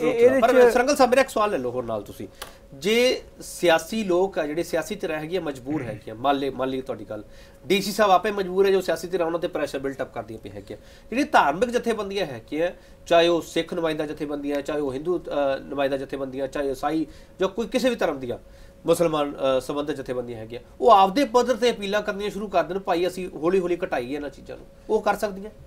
ਦੇਖੋ ਇਹਦੇ ਚ ਉਹਦੇ ਲਈ motivation ਸ਼ੁਰੂ ਕਰ ਮੈਂ। ਮੈਂ ਤੇ ਇਹ ਕਹਾਂਗਾ ਕਿ ਧਾਰਮਿਕਤਾ ਵਾਲਾ ਧਾਰਮਿਕਤਾ ਵਾਲਾ ਜਿਹੜਾ ਐਂਗਲ ਹੈ ਨਾ ਉਹ ਇੰਨਾ ਵੱਡਾ ਨਹੀਂ ਹੁੰਦਾ। ਸਿਰਫ ਉਹਨੂੰ ਕੀਤਾ ਜਾਂਦਾ ਐਕਸਪਲੋਇਟ ਕੀਤਾ ਜਾਂਦਾ ਹੈਗਾ। ਇਹਦੇ ਪਿੱਛੇ ਹੋਰ ਬਹੁਤ ਕੁਝ ਹੁੰਦਾ ਹੈ। ਇਹ ਦੀਵਾਲੀ ਤੇ ਲੁਧਿਆਣੇ ਵਰਗੇ ਸ਼ਹਿਰ ਦੇ ਵਿੱਚ ਹਜ਼ਾਰਾਂ ਦੀ ਗਿਣਤੀ ਵਿੱਚ ਮੇਲੇ ਟਾਈਪ ਲੱਗਦੇ ਆ ਉਹਦੇ ਵਿੱਚ ਵੀ ਕਾਰਪੋਰੇਟ ਜੁੜਿਆ ਹੋਇਆ ਉਹ ਚਕਾ ਮੈਨੂੰ ਉਹ ਤੇ ਨਹੀਂ ਪਤਾ ਜਿਸ। ਜ਼ਮਾਨੇ 'ਚ ਅਸੀਂ ਰਹੇ ਹਾਂ। ਲੇਕਿਨ ਉੱਥੇ ਛੋਟੇ-ਮੋਟੇ ਵਰਕਰ ਹੋਰ ਕਈ ਕਿਸਮ ਦੀ ਇਨਕਮ ਦੇ ਸਾਧਨ ਉਹ ਥੋੜਾ ਠੱਗੀ ਠੋਰੀ ਵਾਲੇ ਸਾਧਨ ਕਈ ਉਹ ਚ ਇਨਕਮ ਇਨਵੋਲਵ ਹੁੰਦੀ ਹੈ। ਉਹਦੇ ਉਹਦੇ ਚ ਪੋਲੀਟੀਸ਼ੀਅਨ ਦਾ ਦੇਖੋ ਇੰਨਾ ਕੁ ਹੁੰਦਾ ਹੈ ਕਿ ਵੀ ਇਹਨਾਂ ਬੰਦਿਆਂ ਨੂੰ ਕਿਤੇ ਨਾ ਕਿਤੇ ਰੁਜ਼ਗਾਰ ਜਿਹਾ ਆਦ ਜਿਹਾ ਲਵਾ ਲਾਂਗੇ ਚਾਰ ਪੈਸੇ ਕਮਾ ਲੈਣਗੇ ਕੱਲ ਨੂੰ ਰੈਲੀ ਲਈ ਸਾਡੇ ਲਈ ਬੰਦੇ ਬੰਦੇ ਇਕੱਠੇ ਕਰ ਦੇਣਗੇ। ਇੱਕ ਬਹੁਤ ਬੜਾ ਨੈਕਸਸ ਹੈਗਾ ਪੋਲੀਟੀਕਲ ਇਹਨੂੰ ਫਿਰ ਰੋਕਣਾ ਜਿਹੜਾ ਹੈਗਾ ਇਹ ਡਿਸਟ੍ਰਿਕਟ ਮੈਜਿਸਟ੍ਰੇਟਾਂ ਦੇ ਵੱਸ ਦੀ ਗੱਲ ਨਹੀਂ ਹੈਗੀ। ਇਹ ਤੁਸੀਂ ਰੋਕ ਹੀ ਨਹੀਂ ਸਕਦੇ। ਵਸ ਕਹਿੰਦੇ ਆ ਫਿਰ? ਇਹ ਬਸ ਕਿਸੇ ਦੇ ਬਸ ਵੀ ਦੀ ਗੱਲ ਨਹੀਂ ਹੈਗੀ। ਕਿਉਂਕਿ ਦੇਖੋ ਜਿਹੜਾ ਸਰੰਗਲ ਜੀ ਮਤਲਬ ਦੇਖੋ ਨਾ ਜਿਹੜੀ ਪੋਸਟ ਆ ਭਾਵੇਂ ਉਹ ਡੀਸੀ ਦੀ ਆ ਭਾਵੇਂ ਪੁਲਿਸ ਦੀ ਆ ਭਾਵੇਂ ਕਿਸੇ ਦੀ ਵੀ ਆ ਉਹ ਤੇ ਇੱਕ ਕਾਨੂੰਨ ਨੂੰ ਰਾਖੀ ਕਰਨ ਲਈ ਪੈਸੇ ਦਿੰਦੇ ਤਨਖਾਹ ਦਿੰਦੇ ਆ। ਜੇ ਕਹੋਗੇ ਸਾਡੇ ਵੱਸ ਦੀ ਨਹੀਂ ਫਿਰ ਫਿਰ ਉਹਦਾ ਮਤਲਬ ਹੀ ਫਿਰ ਤੋਂ ਉਹਦਾ ਕੋਈ ਪੋਜੀਸ਼ਨ ਦਾ ਮਤਲਬ ਹੀ ਨਹੀਂ ਰਹਿੰਦਾ ਜੇ ਤਾਂ ਆਪਾਂ ਸ਼ੇਰ ਸਰੈਂਡਰ ਕਰਨਾ ਵਾ। ਇਹ ਕਹਾਂਗਾ ਕਿ ਇਹ ਜਿਹੜਾ ਹੈਗਾ ਉੱਪਰ ਤੋਂ ਲੈ ਕੇ ਅਗਰ ਤੁਸੀਂ ਕਿਸੇ ਨੂੰ ਮਨਾ ਕਰੋਗੇ ਤੁਹਾਨੂੰ ਉੱਪਰੋਂ ਇਨਸਟਰਕਸ਼ਨ ਆ ਜਾਣਗੀਆਂ ਕਿ ਵੀ ਇਸ ਕੰਮ 'ਚ ਨਾ ਪਾਓ ਵੀ ਆਪਾਂ ਨੇ ਕੱਲਾ ਆਪਾਂ ਕਾਨੂੰਨ ਹੀ ਨਾਫਜ਼ ਨਹੀਂ ਕਰਦੇ ਹਾਂ। ਅਸੀਂ ਇਹ ਦੇਖਦੇ ਹਾਂ ਕਿ ਇਹ ਜਿਹੜੇ ਹਾਲਾਤ ਨੇ ਠੀਕ ਰਹਿੰਦੇ ਨੇ। ਬਹੁਤ ਸਾਰੀ ਜਗ੍ਹਾ ਤੇ ਸਾਨੂੰ ਪਤਾ ਹੈਗਾ ਵੀ ਇਹ ਕੰਮ ਕਾਨੂੰਨ ਦੇ ਮੁਤਾਬਕ ਨਹੀਂ ਹੋ ਰਿਹਾ। ਲੇਕਿਨ ਅਸੀਂ ਉਹ ਟਕਰਾਅ ਤੇ ਸਿਚੁਏਸ਼ਨ ਨੂੰ ਟਾਲਣ ਲਈ ਸਿੱਧਾ ਬਹੁਤ ਕੁਝ ਕਰਨਾ ਸਿੱਧੇ ਪੈਂਦਾ। ਸਵਾਲ ਤੇ ਆ ਜਾਵਾਂ। ਸਰੰਗਲ ਸਾਹਿਬ ਜਿਹੜੇ 22 ਅਫਸਰ ਲਾਏ ਹੈਗੇ ਆ ਇਹਨਾਂ ਨੂੰ ਵੀ ਇਹ ਇਨਸਟਰਕਸ਼ਨ ਦਿੱਤੀਆਂ ਜਾਣਗੀਆਂ ਭਾਈ ਜਿੱਥੇ ਟਕਰਾਅ ਦੀ ਸਥਿਤੀ ਪੈਦਾ ਹੋਊਗੀ ਤੇ ਪਿੱਛੇ ਹੋ ਜਿਓ।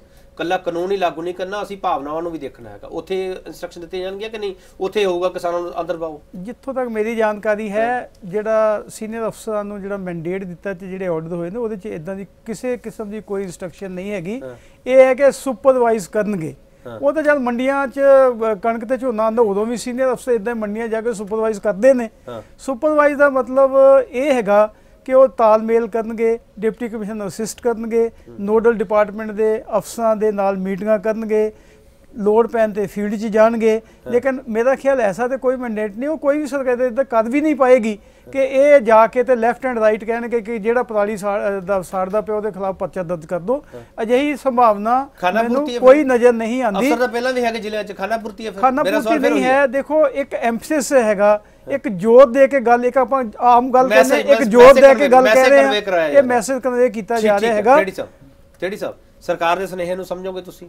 ਗੁਰੂ ਨਾਨਕ ਦੇ ਸੁਨੇਹੇ ਨੂੰ ਸਮਝੋਗੇ ਤੁਸੀਂ? ਦੇਖੋ ਅਸੀਂ ਗੁਰੂ ਨਾਨਕ ਸਾਹਿਬ ਦੇ ਸਨੇਹੇ ਨੂੰ ਸਮਝਦੇ ਹਾਂ। ਕਿ ਪ੍ਰਦੂਸ਼ਣ ਹੋਣਾ ਨਹੀਂ ਚਾਹੀਦਾ ਵਾਤਾਵਰਣ ਸਾਫ਼ ਚਾਹੀਦਾ ਪਰ ਪਹਿਲਾਂ ਮੈਂ ਗੱਲ ਕਰ ਚੁੱਕਿਆ ਵੀ ਜਦ ਘਰ ਰੋਟੀ ਉਹ ਨਾ ਪੱਕਦੀ ਹੋਵੇ ਪ੍ਰਦੂਸ਼ਣ ਤਾਂ ਬਾਅਦ ਵਿੱਚ ਸੋਚਿਆ ਜਾਂਦਾ ਹੈ। ਹੂੰ। ਇੱਕ ਪਹਿਲਾਂ ਗੱਲ ਆਈ ਸੀ ਕਿ ਆਪਾਂ ਸਾਹ ਲੈਣਾ ਔਖਾ ਹੈ। ਜਦੋਂ ਆਪਾਂ ਮਾਚਿਸ ਬਾਲਦੇ ਹਾਂ ਸਾਹ ਪਹਿਲਾਂ ਧੂਆਂ ਉਸੇ ਨੂੰ ਲੱਗਦਾ ਹੈ। ਪਰ ਉਹਦੀ ਮਜਬੂਰੀ ਹੈ। ਇਹ ਕਹੀ ਜਾਂਦੇ ਆ ਕਿ ਵਾਤਾਵਰਣ ਠੀਕ ਰੱਖੋ ਆਉਣ ਵਾਲੀ ਪੀੜ੍ਹੀਆਂ ਵਾਸਤੇ ਤੁਸੀਂ ਮੌਸਮ ਖਰਾਬ ਕਰ ਰਹੇ ਹੈ। ਹਾਂ। ਜੇ ਹੋਣ ਵਾਲੇ ਹੀ ਨਾ ਰਹੇ ਤਾਂ ਆਉਣ ਵਾਲੇ ਕਿੱਥੋਂ ਆਉਣੇ ਐ ਕਿਸਾਨ ਤਾਂ ਹੁਣੇ ਖਤਮ ਹੁੰਦਾ ਜਾਂਦਾ ਆਉਣ ਵਾਲੇ ਕਿੱਥੋਂ ਆਉਣਗੇ? ਇੱਕ ਮੈਂ ਇਹਨਾਂ ਨੂੰ ਇਹ ਪੁੱਛਣਾ ਚਾਹੁੰਦਾ ਵੀ ਕਿਸਾਨ ਨੂੰ ਤਾਂ ਦੁਖੀ ਕਰਦੇ ਐ ਕਿੰਨੇ ਲੱਖਾਂ ਗੱਡੀਆਂ ਚੱਲ ਰਹੀਆਂ? ਪੰਜਾਬ ਵਿੱਚ ਮੈਂ ਪੰਜਾਬ ਪੰਜਾਬ ਦੀ ਗੱਲ ਕਰੂੰਗਾ। ਉਹਨਾਂ ਦੇ ਜਿਹੜੇ ਧੂਆਂ ਰਹਿਤ ਕਾਰਡ ਬਣਦੇ ਐ ਮੈਂ ਇਹਨਾਂ ਨੂੰ ਇੱਕ ਚੈਲੰਜ ਕਰਨਾ ਚਾਹੁੰਦਾ ਵੀ ਮੈਨੂੰ ਕੋਈ ਗੱਡੀ ਦਿਖਾ ਦਿਓ ਜਿਹਦਾ ਧੂਆਂ ਕਦੇ ਟੈਸਟ ਕੀਤਾ ਹੋਵੇ। ਰੁਪਈਏ ਫੜਾਓ ਕਾਰਡ ਬਣਾਓ ਜੇਬ ਵਿੱਚ ਪਾ ਕੇ ਤੁਰਿਆਓ ਤੇ ਉਹ ਧੂਆਂ ਰਹਿਤ ਹੋ ਜਾਂਦੀ ਹੈ। ਉੱਥੇ ਸਰਕਾਰ ਨੇ ਅੱਜ ਤੱਕ ਕਿਹੜੀ ਸਖਤੀ ਕੀਤੀ ਹੈ ਕਿਹੜੀ ਗੱਡੀ ਚੈੱਕ ਕੀਤੀ ਹੈ? ਫਿਰ ਕਿਸਾਨ ਨੂੰ ਇਹ ਕਿਉਂ ਕਰਿਆ ਜਾਂਦਾ ਹੈ? ਹੁਣ ਦੂਜੀ ਗੱਲ ਆਈ ਹੈ ਤੁਹਾਡੀ ਜਿਹੜੇ ਅਫਸਰ ਲਾਏ ਹੈ।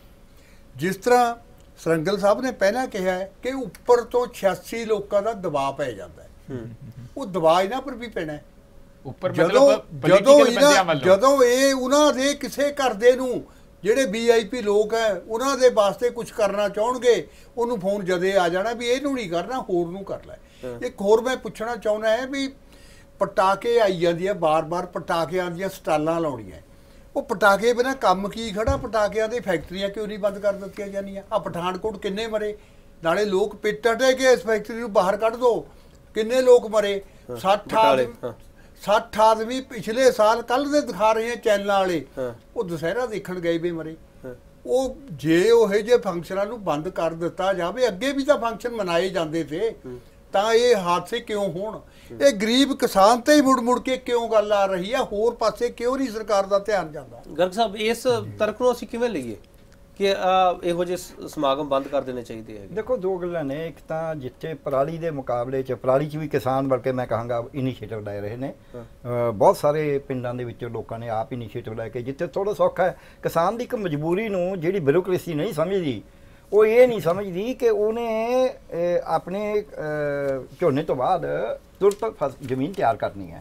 ਉਹਨੇ ਸਮੇਂ ਦੇ ਵਿੱਚ ਜੇ ਤੁਸੀਂ ਉਹਨੂੰ ਕੋਈ ਇਹੋ ਜਿਹੀ ਟੈਕਨੋਲੋਜੀ ਮੈਨੂੰ ਸਾਰੀ ਜ਼ਿੰਦਗੀ ਦੇ ਵਿੱਚ ਅੱਜ ਤੱਕ ਚਾਹੇ ਮੈਂ ਮਰੀਜ਼ਾਂ ਨਾਲ ਡੀਲ ਕਰਿਆ ਜਿਵੇਂ ਸੰਗਤ ਸਾਹਿਬ ਨੇ ਕਿਹਾ ਲਿਟਰੇਸੀ ਚ ਡੀਲ ਕਰਿਆ ਮੈਨੂੰ ਲੋਕ ਨਹੀਂ ਮਾੜੇ ਲੱਭੇ। ਲੋਕ ਤਾਂ ਤਿਆਰ ਹੁੰਦੇ ਨੇ ਵੀ ਅਸੀਂ ਕਰ ਦਿੰਦੇ ਹਾਂ ਜੀ ਪਰ ਉਹਨਾਂ ਨੂੰ ਹੱਲ ਅਸੀਂ ਇਹੋ ਜਿਹਾ ਦਈਏ ਜਿਹੜਾ ਉਹ ਕਰ ਸਕਦੇ ਹੁਣ। ਜਿਹੜਾ ਉਹਦੇ ਵਿੱਚ ਤੋਂ ਬਾਹਰ ਹੱਲ ਹੈ ਜਦ ਅਸੀਂ ਉਹ ਹਾਂ, ਇੱਕ ਤਾਂ ਉਹ ਗਲਤ ਹੈ। ਦੂਜਾ ਉਹ ਬਰਾਬਰਤਾ ਨਾਲ ਦਈਏ। ਸਾਰਿਆਂ ਨੂੰ ਬਰਾਬਰ ਜਿਵੇਂ ਟੇੜੀ ਸਾਹਿਬ ਨੇ ਕਿਹਾ ਵੀ ਜਿਹੜਾ ਤਕੜਾ ਉਹਦੇ ਤਾਂ ਕਰਨਾ ਨਹੀਂ ਦੂਜਿਆਂ ਨੂੰ ਕਰਨਾ। ਤੀਜੀ ਜਿਹੜੀ ਧਾਰਮਿਕ ਗੱਲਾਂ। ਧਾਰਮਿਕ ਗੱਲਾਂ ਤੇ ਪੱਕਾ ਹੀ ਕਹਿਣਾ ਚਾਹੀਦਾ ਇਹ ਕਿੱਥੇ ਸੀ ਕਦੇ ਅਸੀਂ ਤਾਂ ਆਪਣੇ ਬਚਪਨ ਚ ਕਦੇ ਇਦਾਂ ਜਲੂਸ ਹੀ ਨਹੀਂ ਦੇਖੇ ਸੀ ਵੀ ਹੁਣ ਗੁਰੂ ਨਾਨਕ ਦੇਵ ਜੀ ਦਾ ਬਰਥਡੇ ਹੈ ਜੀ ਹੁਣ ਉਹ ਫਲਾਣਾ ਉਹ ਗੁਰਪੁਰਬ ਹੈ ਜੀ ਹੁਣ ਫਲਾਣੀ ਵਿਸਾਖੀ ਹੈ ਜੀ ਹੁਣ ਫਲਾਣੀ ਲੋਹੜੀ ਹੈ ਜੀ ਰੋਜ਼ ਹੀ ਭੜਾਕੇ ਭੜੂਕੇ ਚ ਇਹ ਹੋਣ ਲੱਗੇ। ਇਹਦੇ ਨਾਲ ਧੂਆਂ ਨਹੀਂ ਪ੍ਰਦੂਸ਼ਣ ਪਟਾਕੇ ਫਿਰ ਕੱਲੇ ਦੀਵਾਲੀ ਦੁਸਹਿਰੇ ਤੇ ਚੱਲਣ ਬਾਕੀ ਬੰਦ ਹੋ ਨਹੀਂ ਜਾਣ। ਨਹੀਂ ਸਾਰੇ ਪਾਸੇ ਇਹ ਘਟਾਉਣੇ ਚਾਹੀਦੇ ਨੇ। ਇਹਨਾਂ ਦੇ ਇਹਨਾਂ ਦਾ ਵੱਡਾ ਰੋਲ ਹੀ ਨਹੀਂ ਹੈ। ਤੁਸੀਂ ਇਹਨਾਂ ਨੂੰ ਬੜੇ ਸੇਫ ਜਿਹੜੀ ਦੀਵਾਲੀ ਜਿਹਨੂੰ ਕਹਿੰਦੇ ਨੇ ਮਾੜੀ ਮੋਟੀਆਂ ਦੀਵਾਲੀ, ਹਾਂ eco ਉਹਦੇ ਪਾਸੇ ਵੱਲ। ਨੂੰ ਵਧਣਾ ਚਾਹੀਦਾ ਹੈ ਤੇ ਇਹਦੇ ਚ ਧਾਰਮਿਕ ਸ਼ਖਸੀਅਤਾਂ ਜਿਹੜੀਆਂ ਨੇ ਉਹਨਾਂ ਦਾ ਕਿਉਂਕਿ ਧਰਮ ਦਾ ਮਾਮਲਾ ਜਿਵੇਂ ਤੁਸੀਂ ਪਹਿਲਾਂ ਕਿਹਾ ਫਿਰ ਧਾਰਮਿਕ ਸ਼ਖਸੀਅਤਾਂ ਕਹਿ ਸਕਦੇ ਨੇ ਵੀ ਯਾਰ ਇਹ ਨਾ ਕਰੀਏ ਕਿਉਂ ਨਹੀਂ। ਕਹਿੰਦੀਆਂ ਪਈਆਂ ਫਿਰ ਤਾਂ ਫਿਰ ਇਹੀ ਤਾਂ ਮੈਂ ਕਹਿੰਦਾ ਉਹਨਾਂ ਪਿੱਛੇ ਤਾਂ ਨਹੀਂ ਕੋਈ ਕਾਰਪੋਰੇਟ ਨਾ ਨਾ ਉਹਨਾਂ ਪਿੱਛੇ ਵੀ ਹੈਗਾ। ਅੱਜ ਸਾਡੇ ਸਮਾਜ 'ਚ ਸਿਆਸਤ ਤੇ ਧਰਮ ਮੈਨੂੰ ਐ ਲੱਗਦਾ ਹੈ ਵੀ ਉਹ ਵਪਾਰ ਦੇ ਵੱਲ ਨੂੰ ਜ਼ਿਆਦਾ ਵੱਧ ਰਿਹਾ ਹਾਂ। ਹੈ ਕਿ ਉਹਦੇ ਵਿੱਚ ਤੁਸੀਂ ਜਾ ਕੇ ਦੇਖੋਗੇ ਵੀ ਧਾਰਮਿਕ ਲੀਡਰਾਂ ਕੋਲ ਕਿੰਨਾ ਪੈਸਾ ਕਿੰਨੇ ਉਹਨਾਂ ਨੇ ਆਪਦੇ ਵਪਾਰ ਸ਼ੁਰੂ ਕਰ ਲਏ 50 50 ਹਜ਼ਾਰ ਕਰੋੜ ਦਾ ਜਿਹਦਾ ਵਪਾਰ ਚੱਲਦਾ ਹੋਵੇ ਚਾਹੇ ਉਹ ਯੋਗਾ ਦੇ ਨਾਂ ਤੇ ਚਲਾਵੇ ਚਾਹੇ ਕਿਸੇ ਨਾਂ ਤੇ ਚਲਾਵੇ ਉਹਨੂੰ ਤੁਸੀਂ ਧਾਰਮਿਕ ਲੀਡਰ ਕਹੋਗੇ। ਧਰਮ ਦੇ ਤਾਂ ਪੈਸੇ ਨਾਲ ਕਹਿੰਦੇ ਮਾਇਆ ਹੋਈ ਨਾਗਰੀ ਚਲੋ, ਜਗਤ ਮੈਂ ਦੀ ਥੋੜ੍ਹਾ break ਮੈਂ ਲੈਣਾ। ਇੱਕ ਲਾਈਨ ਚ ਕਹਾਂਗਾ। ਕਿਸਾਨ ਨੂੰ ਸੱਚਮੁੱਚ ਇਸ ਗੱਲ ਦੀ ਹਵਾ ਪਾਣੀ ਤੇ ਮਿੱਟੀ ਦੀ ਕਿਸਾਨ ਦੀ ਜ਼ਿਆਦਾ ਚਿੰਤਾ ਹੈ ਜੇ ਦਰਖਤ ਰੋਕੇਗੇ ਕੱਟਣੇ ਤਾਂ ਕਿਸਾਨਾਂ ਨੇ ਰੋਕੇ ਆਦੀਵਾਸੀਆਂ ਨੇ ਰੋਕੇ ਵੀ ਦਰਖਤ ਨਹੀਂ ਕੱਟਣੇ ਅੱਜ ਜਿਹੜਾ ਇੱਕ ਪਾਸੇ ਆ ਆ ਫਗਵਾੜੇ ਵਾਲੀ ਸੜਕ ਚੌੜੀ ਹੋ ਰਹੀ ਹੈ। ਜਾ ਕੇ ਦੇਖੋ ਕਿੰਨੇ ਦਰਖਤ ਕੱਟੇ ਜਾ ਰਹੇ ਨੇ। ਆ ਬੰਬੇ ਚ ਹੁਣੀ ਤੁਸੀਂ ਪੜਿਆ ਹੀ ਹੈ ਆਰੇ ਵੀ ਆਰੇ ਵਾਲੇ ਦੇ ਵਿੱਚ ਕੀ ਕਰਿਆ?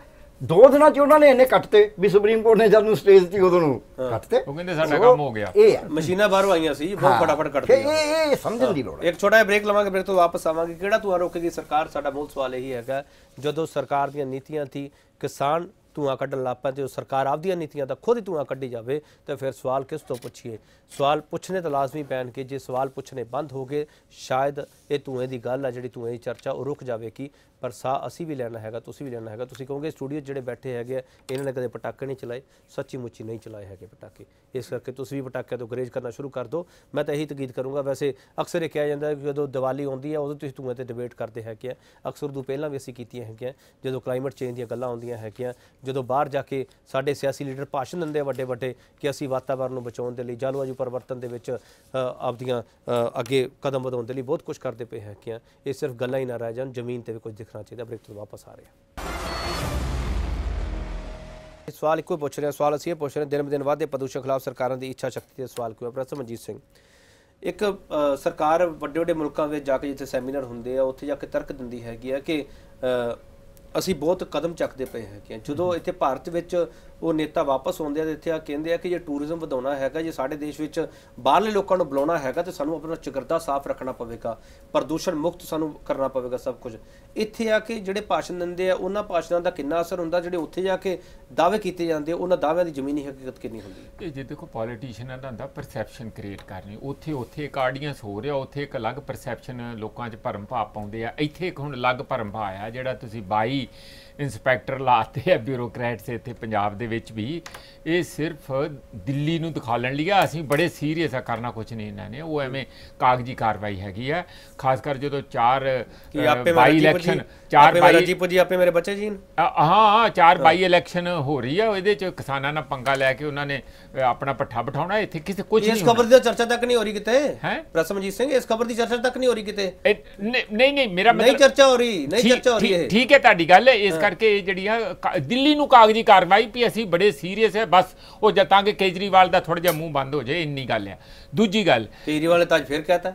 ਉਹ ਤੇ ਕਹੇ ਲੋਕੇ ਬੀਜੇਪੀ ਉਹਨੇ ਵੀ ਤੇ ਵੋਟਾਂ ਲੈਣੀਆਂ ਉਹਦੀਆਂ ਵੀ ਇਲੈਕਸ਼ਨ ਆਈਆਂ ਖੜੀਆਂ ਜੋ- ਪ੍ਰਦੂਸ਼ਣ ਦਾ ਪੱਧਰ ਹੁਣ ਥੋੜਾ ਜਿਹਾ ਠੀਕ ਹੋਇਆ ਹੈ। ਸਾਰੇ ਕ੍ਰੈਡਿਟ ਬਾਹਰ ਲੈਣ ਲੱਗ ਪਏ ਤੇ ਕੇਜਰੀਵਾਲ ਸਾਹਿਬ ਕਹਿੰਦੇ ਲੈ ਲਓ ਕ੍ਰੈਡਿਟ ਲੈ ਲਓ ਤੁਸੀਂ ਪਰ ਬੀਜੇਪੀ ਪਰਾਲੀ ਦਾ ਧੂਆਂ ਰੋਕ ਦੇਵੇ ਨਹੀਂ ਨਹੀਂ ਉਹ ਤੇ ਉਹਨਾਂ ਦਾ ਵੀ ਦੇਖੋ ਦਿੱਲੀ ਦੀਆਂ ਚੋਣਾਂ ਸਿਰ ਤੇ ਆਈਆਂ ਉਹਨਾਂ ਨੇ ਤੇ ਪੂਰਾ ਤੇ ਹੈ। ਐਨਜੀਟੀ ਕੀ ਕਰੇ ਹੁਣ ਸਾਰੇ ਪਾਸੇ ਨਹੀਂ, ਐਨਜੀਟੀ ਕੀ ਕਰੂਗੀ ਐਨਜੀਟੀ ਨੇ ਕੁਝ ਨਹੀਂ ਕਰਨਾ ਜੋ ਮੋਦੀ ਕਹੂਗਾ ਐਨਜੀਟੀ ਉਹ ਕਰੂਗੀ ਉਹ ਤਾਂ ਫਾਈਲਾਂ ਸਾਰੀਆਂ ਸਾਫ਼ ਕਰਤੀਆਂ ਉਹਨੇ ਆਉਂਦੀਆਂ ਹੀ ਐਤਕੀ ਹੈ ਉਹਨਾਂ ਨੇ ਜਿਹੜਾ ਡਿਪਾਰਟਮੈਂਟ ਜਿਹੜਾ ਪੋਲੂਸ਼ਨ ਵਾਲਾ ਆਇਆ ਪੋਲੂਸ਼ਨ ਦੀਆਂ ਕਹਿੰਦੇ ਜੀ ਸਾਡੇ ਫਾਈਲਾਂ ਦੀ ਸ਼ਰਮ ਆਉਣੀ ਚਾਹੀਦੀ ਤੁਹਾਡੇ ਤੇ ਫਾਈਲਾਂ ਦਾ ਢੇਰ ਲੱਗਾ ਹੋਣਾ ਚਾਹੀਦਾ ਤੁਹਾਨੂੰ ਪਾਸ ਹੀ ਨਹੀਂ ਕਰਨਾ ਚਾਹੀਦਾ।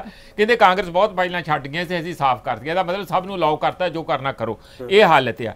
ਜਿਹੜੀ ਗੱਲ ਰਹੀ ਹੈ ਜਿਹੜੀ ਨਾ ਤੁਸੀਂ ਧਰਮ ਦੀ ਗੱਲ ਆ ਇਹ ਬਿਲਕੁਲ ਠੀਕ ਹੈ ਇਹ ਆਸਥਾ ਦੀ ਗੱਲ ਹੁੰਦੀ ਹੈ ਦੇਖੋ ਐਸਜੀਪੀਸੀ ਨੇ ਪਿੱਛੇ ਲੇਜ਼ਰ ਲਾਈਟਸ ਜਾਂ ਉਹਦੇ ਤੇ ਜਿਹੜੀ ਉੱਥੇ ਵੀ ਇਹ ਆਪਾਂ ਪਟਾਕਿਆਂ ਵਾਲੀ ਨਾ ਕਰਕੇ ਦਰਬਾਰ ਸਾਹਿਬ 'ਚ ਜਿਹੜੀ ਦੀਵਾਲੀ ਉਹ ਇੱਕ ਬੜੀ ਧੂਮਧਾਮ ਨਾਲ ਬੜੀ ਦੇਰ ਤੋਂ ਮਨਾਈ ਜਾਂਦੀ ਹੈ।